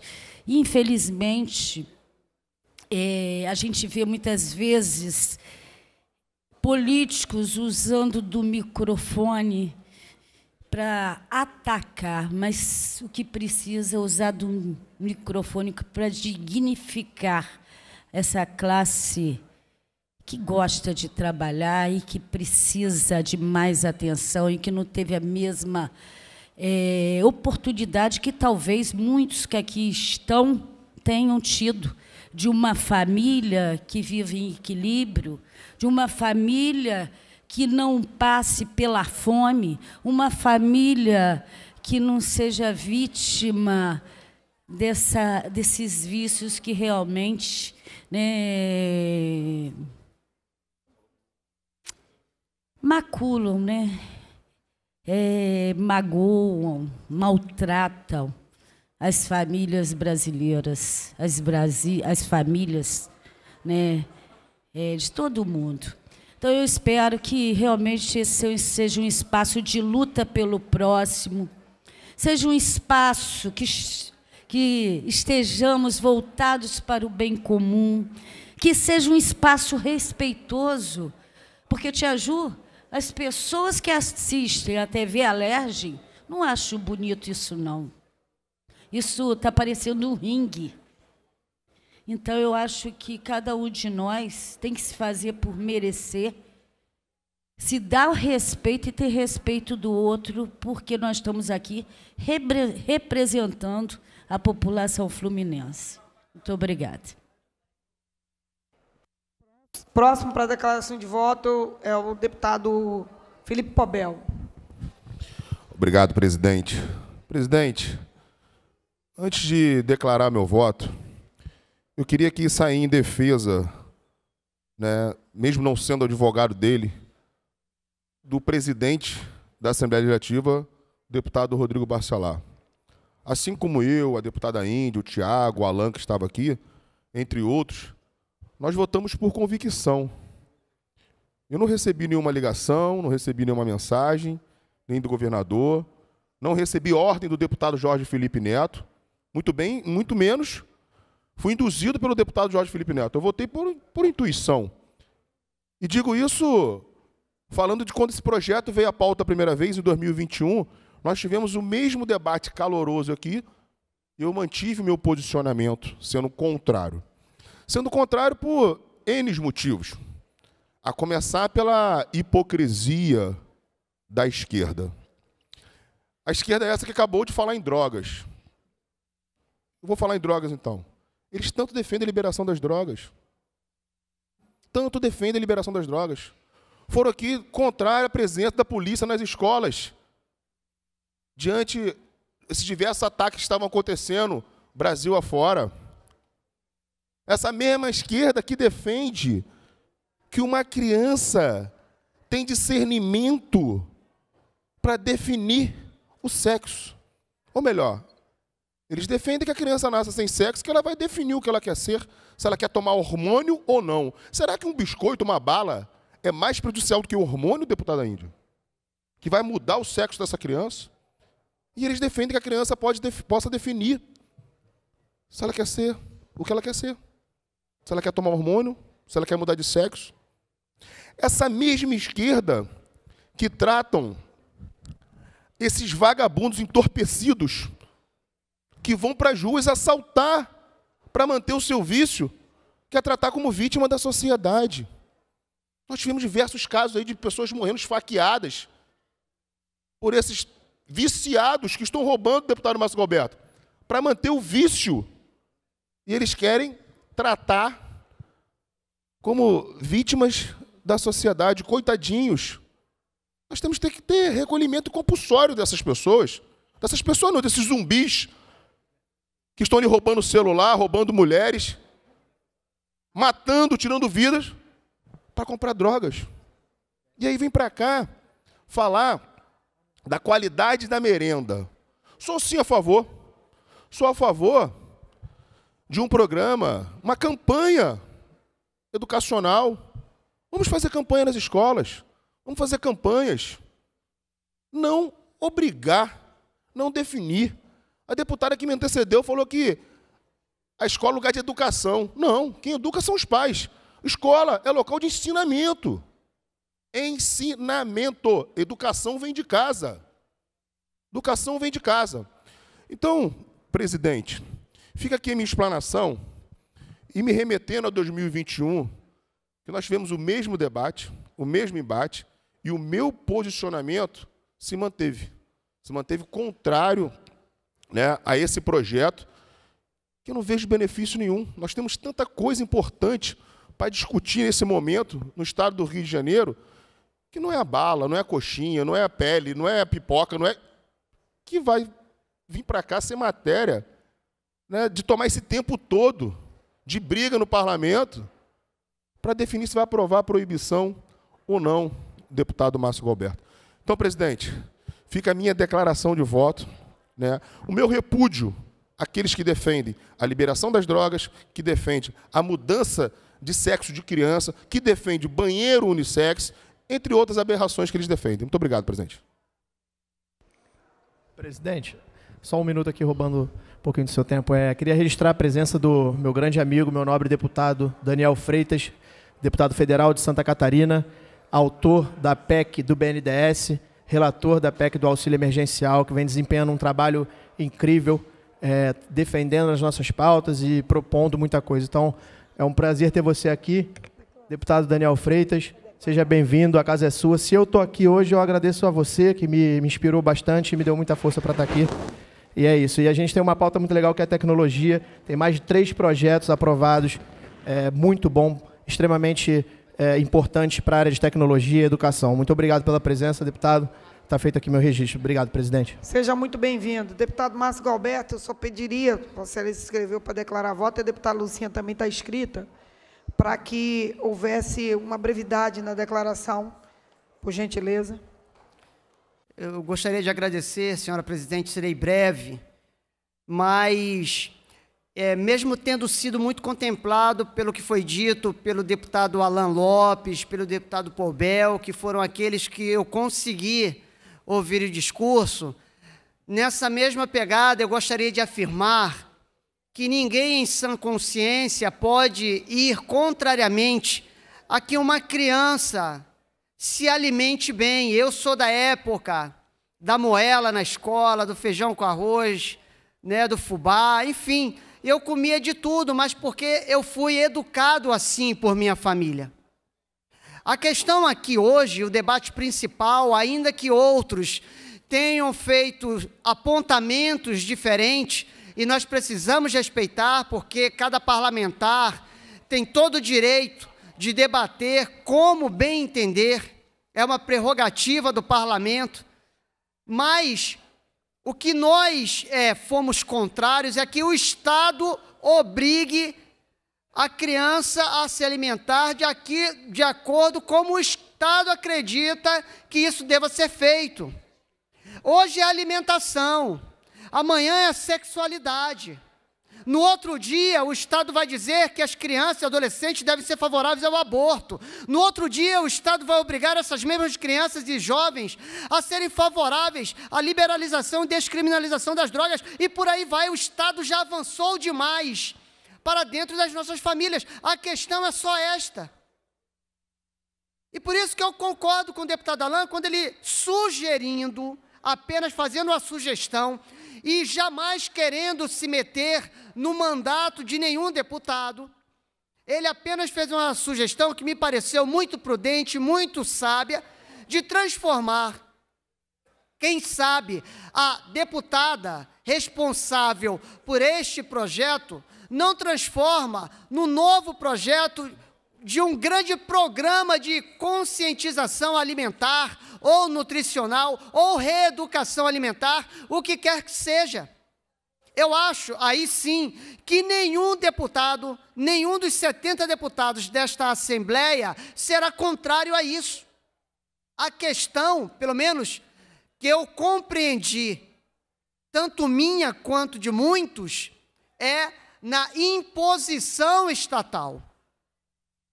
Isso que me pareceu agressivo para este caso específico, ainda que eu acredite também no mesmo nível que a deputada que fez o projeto tinha a melhor das intenções. Estou sendo muito sincero, acredito. Mas a questão principal é a imposição. Então, sendo assim, eu quero deixar consignado que não sou o contrário a que a criança se alimente bem. Meu filho de dois anos come giló, come abobrinha, come carne, ele come de tudo, para ficar só no de dois anos. Porque nós temos um trabalho, todo um esforço de educá-lo de forma correta no, correta no aspecto alimentar. Não é fácil, as tentações são muitas, mas cabe à família, né, primariamente, fazer esta educação, esta boa orientação. Então é só isso, tá? Muito obrigado. Deputada, a próxima para a declaração de voto, deputada Lucinha. Obrigada, Tia Ju. Né? Mais uma vez, é, quero dizer que o nosso trato sempre foi um trato muito cordial e continuo com a minha convicção que a sua posição foi equivocada. Só o tempo irá demonstrar aqui no parlamento, no dia a dia, em que momento as pessoas vão pedir verificação de core em determinadas matérias. Mas eu queria aproveitar, agradecer as pessoas que os deputados que votaram favoravelmente ao projeto, dizer mais uma vez que eu tenho convicção que esse projeto aqui é um projeto, é um projeto importantíssimo. Só que, infelizmente, a maioria aqui da casa votou contra. E quando vota contra, está votando contra as nossas crianças. Porque quando fala de alimentação saudável, é muito bonito falar, as crianças precisam de alimentação saudável, mas de que forma? alimentação saudável é aquilo que é vendido nas cantinas das escolas particulares? Que é bala, biscoito, chocolate?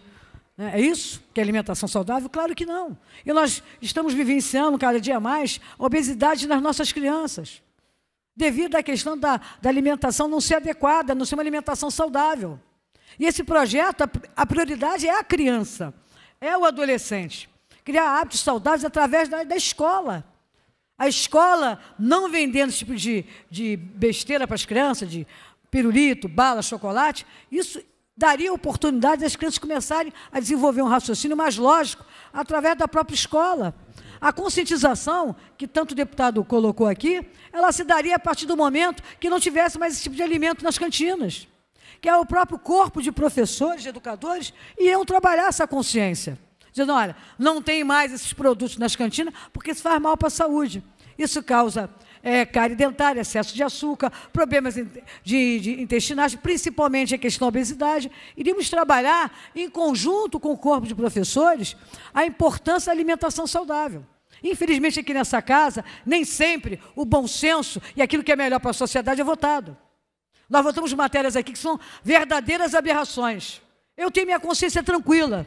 Eu nunca votei aqui incentivo fiscal para beneficiar determinados setores que não correspondem com a realidade, que não trazem nenhum benefício para aquele incentivo que foi dado, que não priorizou o aumento da arrecadação, porque a arrecadação diminuiu através do incentivo.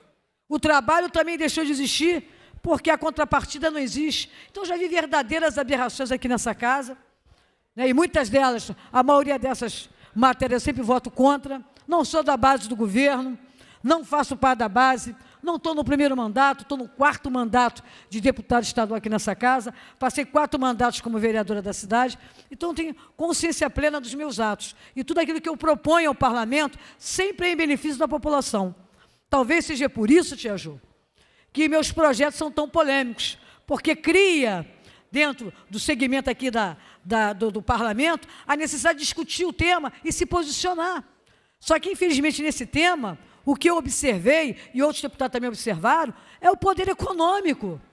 Ninguém estava preocupado aqui em discutir a questão do pirulito, do chocolate, da bala, do hambúrguer, do cheeseburger, do nugget, não. Estava preocupado em discutir a perda de receita das, das escolas particulares com o fechamento da cantina ou se a cantina iria funcionar com outro tipo de alimentação que fosse oferecido para as, as nossas crianças. Então, aqui imperou sim né, imperou, infelizmente, o poder econômico. Mas pode ter certeza que ano que vem vou estar reapresentando esse projeto.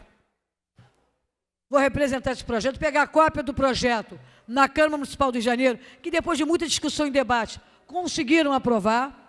Lá teve nutricionista de teve aqui também teve na audiência pública, Tia Ju. Vossa Excelência chegou a participar de uma, que tinha nutricionista, que tinha psicólogo, que tinham pessoas que estavam interessadas em discutir o tema, tinha professores.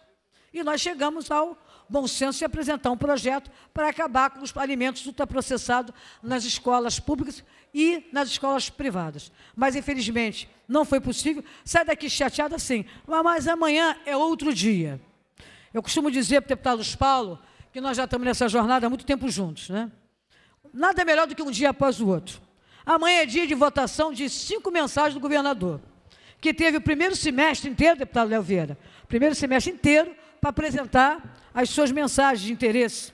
E está apresentando na última semana, antes do recesso, na última semana, cinco projetos polêmicos. Um deles é para acabar com o projeto Supera Rio que é aquele que beneficia 65 mil famílias. O outro é para acabar com o projeto da, do combate à pobreza. E outros projetos que estarão na pauta de amanhã. Então, estarei aqui exercendo a minha função. Não vou sair perto do microfone para não dizer, Pediu verificação depois do, da votação. Não, vou estar ao lado do microfone em todas as votações amanhã, de todos os projetos do governo que vierem à pauta, eu vou pedir verificação nominal. Que eu quero que cada um assuma a responsabilidade para si, de na hora de votar, saber em quem está votando. Porque ontem teve o colégio de líderes, se discutiu, se debateu, tentou chegar num consenso. Só que o consenso de ontem hoje não prevaleceu aqui nessa casa faltou consenso por parte do próprio governo. Agora, se amanhã é outro dia, amanhã estaria aqui. Como hoje estava aqui às 10 horas da manhã, na audiência pública, para tratar do navio, né, o graneiro, né, que estava que tava, tava, tá até hoje, né? Está até hoje empacado lá na. Agora não está mais na Baía de Sepitiba, está na Baía da Ilha Grande, né, que saiu do canal do Porto de Itaguaí acabou encalhando. Então, Amanhã, ontem estávamos aqui hoje de manhã discutindo esse assunto. O deputado Léo Vieira, diga-se passagem, ligou para mim avisando que estava com problema, que não daria para chegar, mas eu fiquei aqui do início, no meio, até o final da audiência pública. Participou eu e deputado Luiz Paulo. Depois ficou eu, a Defensoria Pública e todos os outros órgãos. E depois eu participei aqui no plenário. Eu sou uma deputada presente no parlamento. Então amanhã vou estar aqui exercendo o meu direito de deputado estadual, tá certo? De pedir verificação em todas as matérias do governo e todas aquelas matérias que não forem de acordo com o meu pensamento, ele votar contrária. Deputado Léo, Léo Vieira e deputada Dani, uma questão de ordem. O deputado Léo vai, vai fazer um, pedir um, uma questão. Deputado Léo, vai. É breve. É porque eu estou inscrita no expediente final, eu imagino que a senhora não conseguirá passar para o expediente final mas eu preciso falar. E eu estou avisando aqui aos parlamentares dessa casa que hoje, dia 28 de julho, eu vou usar a tribuna, independentemente de qualquer coisa, que para me tirar dessa tribuna vai ter, ser preciso chamar a polícia parlamentar. Deputado Léo. Boa, no... Boa noite, deputada, querida amiga baiana, Tia Ju, a todos os parlamentares presentes que estão nos assistindo.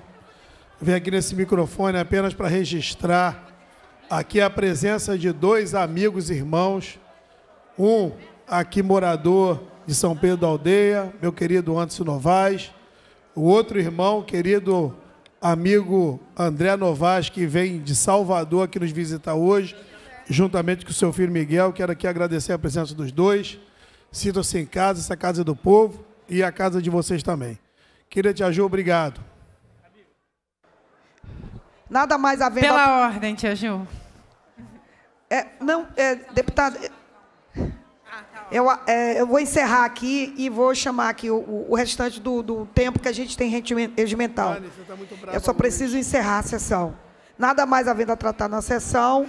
É, antes, porém, de encerrá-la, anunciar aos presentes que os dois projetos, o 5346 e 563, que não foi possível ser é, cantado aqui em pauta retornará na pauta de amanhã. Nada mais havendo a tratar na ordem do dia, é, ainda resta 30, é, 20, 12 minutos do tempo regimental para o expediente final. É, Passa-se ao expediente final e o deputado Luiz Paulo, inscrito, não está presente. a, a oradora, a deputada Dani Balbo, eu pediria, deputada Dani Balbo, que fizesse uso eh, da tribuna, do, do tempo regimental que resta, e ainda, se puder, consignar com a deputada Renata Souza. Porque eu, pre- preciso encerrar às 18h30. Muito obrigada, presidenta. Obrigada aos nobres colegas aqui da tribuna. Vou tentar ser breve, deputada Renata Souza, para dividir o tempo com Vossa Excelência. Hoje é dia 28 de junho, dia do orgulho de ser pessoa LGBTQIA+, dia internacional de lembrança da memória daquelas e daqueles que marcharam para que nós pudéssemos existir. Hoje, portanto, é dia de celebrar quem somos, o que conquistamos e nossa trajetória até aqui. O orgulho que falamos não é o da arrogância, é o da aceitação. Tentam nos mudar, nos constranger desde o dia que nascemos. Buscam nos encaixar em regras e convenções sobre as quais nunca fomos consultados. A sociedade capitalista nos move a ter vergonha do nosso amor e, por conta disso, muitos passam uma vida inteira privados da felicidade de amar e ser amados pelas convenções morais desta mesma sociedade capitalista. Convenções que só servem para enquadrar, dividir e recalcar a diversidade inerente ao conjunto da classe trabalhadora. Assim, costumes, como dizem, não são a única forma pelas quais eles nos atacam, não. Os padrões estabelecidos para ranquear e valorar as pessoas de acordo com os interesses de quem controla o sistema, esse sistema de valorização daquilo que não deveria jamais ser metrificado. A força integral e integradora do que é fundamentalmente humano pessoas LGBTQIA+, sofrem com as violências desde que nascem. Segundo a pesquisa nacional sobre o ambiente educacional no Brasil, 2016, a LGBTQIA+, fobia é uma das principais causas de evasão escolar da população LGBTQIA+. Cerca de 27% das pessoas que auto se declaram LGBTQIA+, afirmaram ter sofrido agressão nas escolas e 73% foram alvos de xingamentos em razão de sua orientação sexual ou manifestação da sua identidade de gênero. A Associação Brasileira de Gays, Lésbicas e Transgêneros aponta que 25% das pessoas trans sofreram violência física dentro do ambiente escolar e 44% desses nunca sequer informou a instituição. Ainda, de acordo com um estudo da Comissão de Diversidade Sexual da OAB, cerca de 80% da população trans sofre com evasão escolar. O ciclo de exclusão pela qual passa a população LGBTQIA+, principalmente a população transexual no Brasil, se inicia, como resta provado, nos ambientes que deveriam prestar acolhimento à escola, à família, os templos religiosos. Um ciclo que nos joga para longe das universidades e nos empurra para os piores empregos, para as piores posições no mercado de trabalho, nos afasta do mercado de trabalho formal. Assim, pessoas LGBTQIA+, enfrentam enorme resistência neste mercado de trabalho formal. A pesquisa Diversidade e Inclusão, realizada pela consultoria global Great Place to Work, aponta que 8% das lideranças de empresas somente são LGBTQIA+. Portanto, essa exclusão, como nós podemos constatar, afeta, sobretudo, aquelas e aqueles que mais precisam do ingresso no mercado de trabalho formal. E afeta mais ainda pessoas transexuais e travestis. Cerca de 90% das pessoas que se autodeclaram transexuais e travestis estão em situação de prostituição compulsória, porque declaram que não gostariam de ingressar no mercado da venda dos seus corpos, o mercado da venda do sexo, mas não lhes resta outra alternativa a não ser fazê-lo. O acesso à saúde, outro ponto que eu queria destacar, direito tão essencial, primário, constitucionalmente garantido e, portanto, dever do Estado, também nos é interditado. Pessoas trans convivem com dificuldade em relação ao processo transexualizador, que ainda não atende às determinações estabelecidas pelo Conselho Federal de Medicina, se baseando na já superada CID-10 da OMS, induzindo, pois, diversos processos e exames equivocados que oprimem e dificultam nosso acesso a direitos. Além disso, levantamento feito pela Fundação Getúlio Vargas mostrou que justificativas negacionistas e desinformativas são a base de diversos projetos de lei que se espalham Brasil afora, buscando proibir cirurgias de redesignação sexual e tratamentos hormonais para pessoas transexuais maiores de idade. Por fim, nos matam. Somos o país que mais mata pessoas LGBTQIA+ no mundo. O número de pessoas LGBTQIA assassinadas no Brasil em 2022, para que nós ponhamos um caso em tela, mantém o Brasil no topo mundial dentre aqueles países que realizam pesquisas sobre esse tipo de violência. Foram 242 homicídios, uma morte a cada 34 horas, além de 14 suicídios. Levantamento realizado pelo Grupo Gay da Bahia. O dossiê Assassinatos e Violências contra Travestis e Transsexuais Brasileiras, ainda realizado pela Associação Nacional de Transsexuais e Travestis, aponta que, pelo 14º ano consecutivo, o Brasil foi o país que mais matou, com requintes de crueldade, transexuais e travestis no mundo. Só em 2022 foram 131 pessoas trans assassinadas. Dentre essas, 130 mulheres transexuais, a maioria esmagadora, mulheres negras transexuais.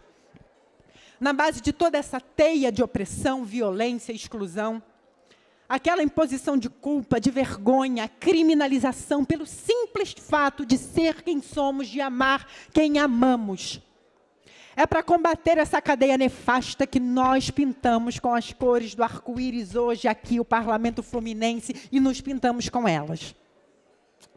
Vamos tomando as ruas com orgulho de ser quem somos, de amar quem amamos e de ocupar os espaços que ocupamos e dos quais nós não sairemos sem arrancar deles vitórias, como é o caso do parlamento, das universidades, dos escritórios de advocacia.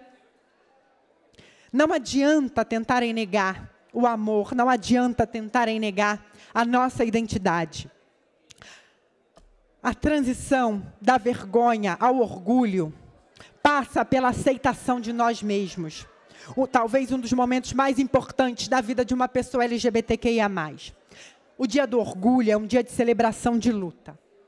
Eu sou Daniele Balbi, tenho 34 anos, tenho orgulho de ser uma mulher preta, trans e comunista. Tenho orgulho de ter recebido a confiança e a responsabilidade de mais de 65 mil fluminenses para chegar aqui, ocupar esta tribuna e falar para aquelas e aqueles que nos querem longe daqui, que nós não arredaremos o pé dessa casa sem garantir cidadania plena para a população LGBTQIA. Dizer assim, para encerrar, que o amor já venceu o ódio, que a vergonha que eles querem nos imputar não tem mais espaço nos nossos corpos e nas nossas expressões. Viva o amor, viva o orgulho de amar, de ser amada, viva a diversidade da classe trabalhadora. E a lei, para quem quer espalhar, espalhar ódio, violência e preconceitos. As leis que garantirão o cobertor da assistência social por anos negados. A população LGBTQIA+, sairão dessa casa. E nós não retrocederemos. Nós marcamos história aqui para garantir que o Estado do Rio de Janeiro seja um Estado que produza proteção para mulheres lésbicas, homens homossexuais, pessoas bissexuais, transexuais e travestis. LGBTQIA+, é orgulho. E LGBTQIA+, fobia não é opinião, é crime. E não vamos tolerar, jamais, nenhuma forma de ofensa, violência e qualquer tentativa de retirada de direitos. Nós estamos aqui e aqui nós nos sustentaremos. Portanto, para encerrar, queria dirigir essa mensagem diretamente à população LGBTQIA, do Estado do Rio de Janeiro e do Brasil. Orgulhem-se, orgulhemos-nos da nossa trajetória de luta. Hoje é o dia de celebrar as nossas vidas coletivamente. Obrigada, presidenta. Ainda restando um tempo regimental, próxima inscrita, a deputada Renata Souza, diria brevidade, mas permitindo o uso do tempo regimental. Muito obrigada, senhora presidenta. Tenho certeza que Vossa Excelência é sensível à pauta da população LGBTQIA. Inclusive, Vossa Excelência já pôde participar aqui de diferentes debates conosco com relação à vida da população LGBTQIA. Então, eu fico muito feliz de estar nessa casa com Dani Balbi, essa mulher preta trans que constrói a possibilidade da existência dessa população tão vulnerabilizada, tão hostilizada, tão violentada, tão criminalizada. Então, hoje, no Dia Internacional é, do Orgulho LGBTQIA+, fazer a nossa homenagem, mas também entender que dentro dessa casa legislativa, a população LGBTQIA+, é bem-vinda. E não só para ficar aqui olhando os projetos de lei ser, serem aprovados, mas que estejam aqui enquanto representantes do povo do Estado do Rio de Janeiro. É por isso que eu fico muito feliz, deputada Dani Balbi, de ter apresentado vários projetos com relação à empregabilidade trans, com relação ao reconhecimento da identidade de gênero, com relação a projetos que fazem sentido para essa população, em especial quando temos muitas políticas públicas que não, vejam, não veem as, as especificidades. Então, especificidade com relação, por exemplo, às, aos homens trans que engravidam, que parem. Então, a gente precisa também ter toda uma política pública que resguarde a possibilidade e os direitos dos homens trans. E entendendo também que quando falamos de LGBTQIA+, e de orgulho, é o orgulho de amar quem quiser amar. Né? Nós não podemos fazer com que o amor tenha amarras. Então, eu fico muito feliz de amar minha amiga Dani Balbi, que constrói com a gente aqui a possibilidade da população LGBTQIA+, ter uma representante tão comprometida e tão importante como a querida Dani Balbi. Sigamos, orgulho LGBTQIA+, sigamos também na luta dentro dos parlamentos. Muito obrigada, senhora presidenta. É, não havendo mais tempo regimental, declaro encerrada a presente sessão.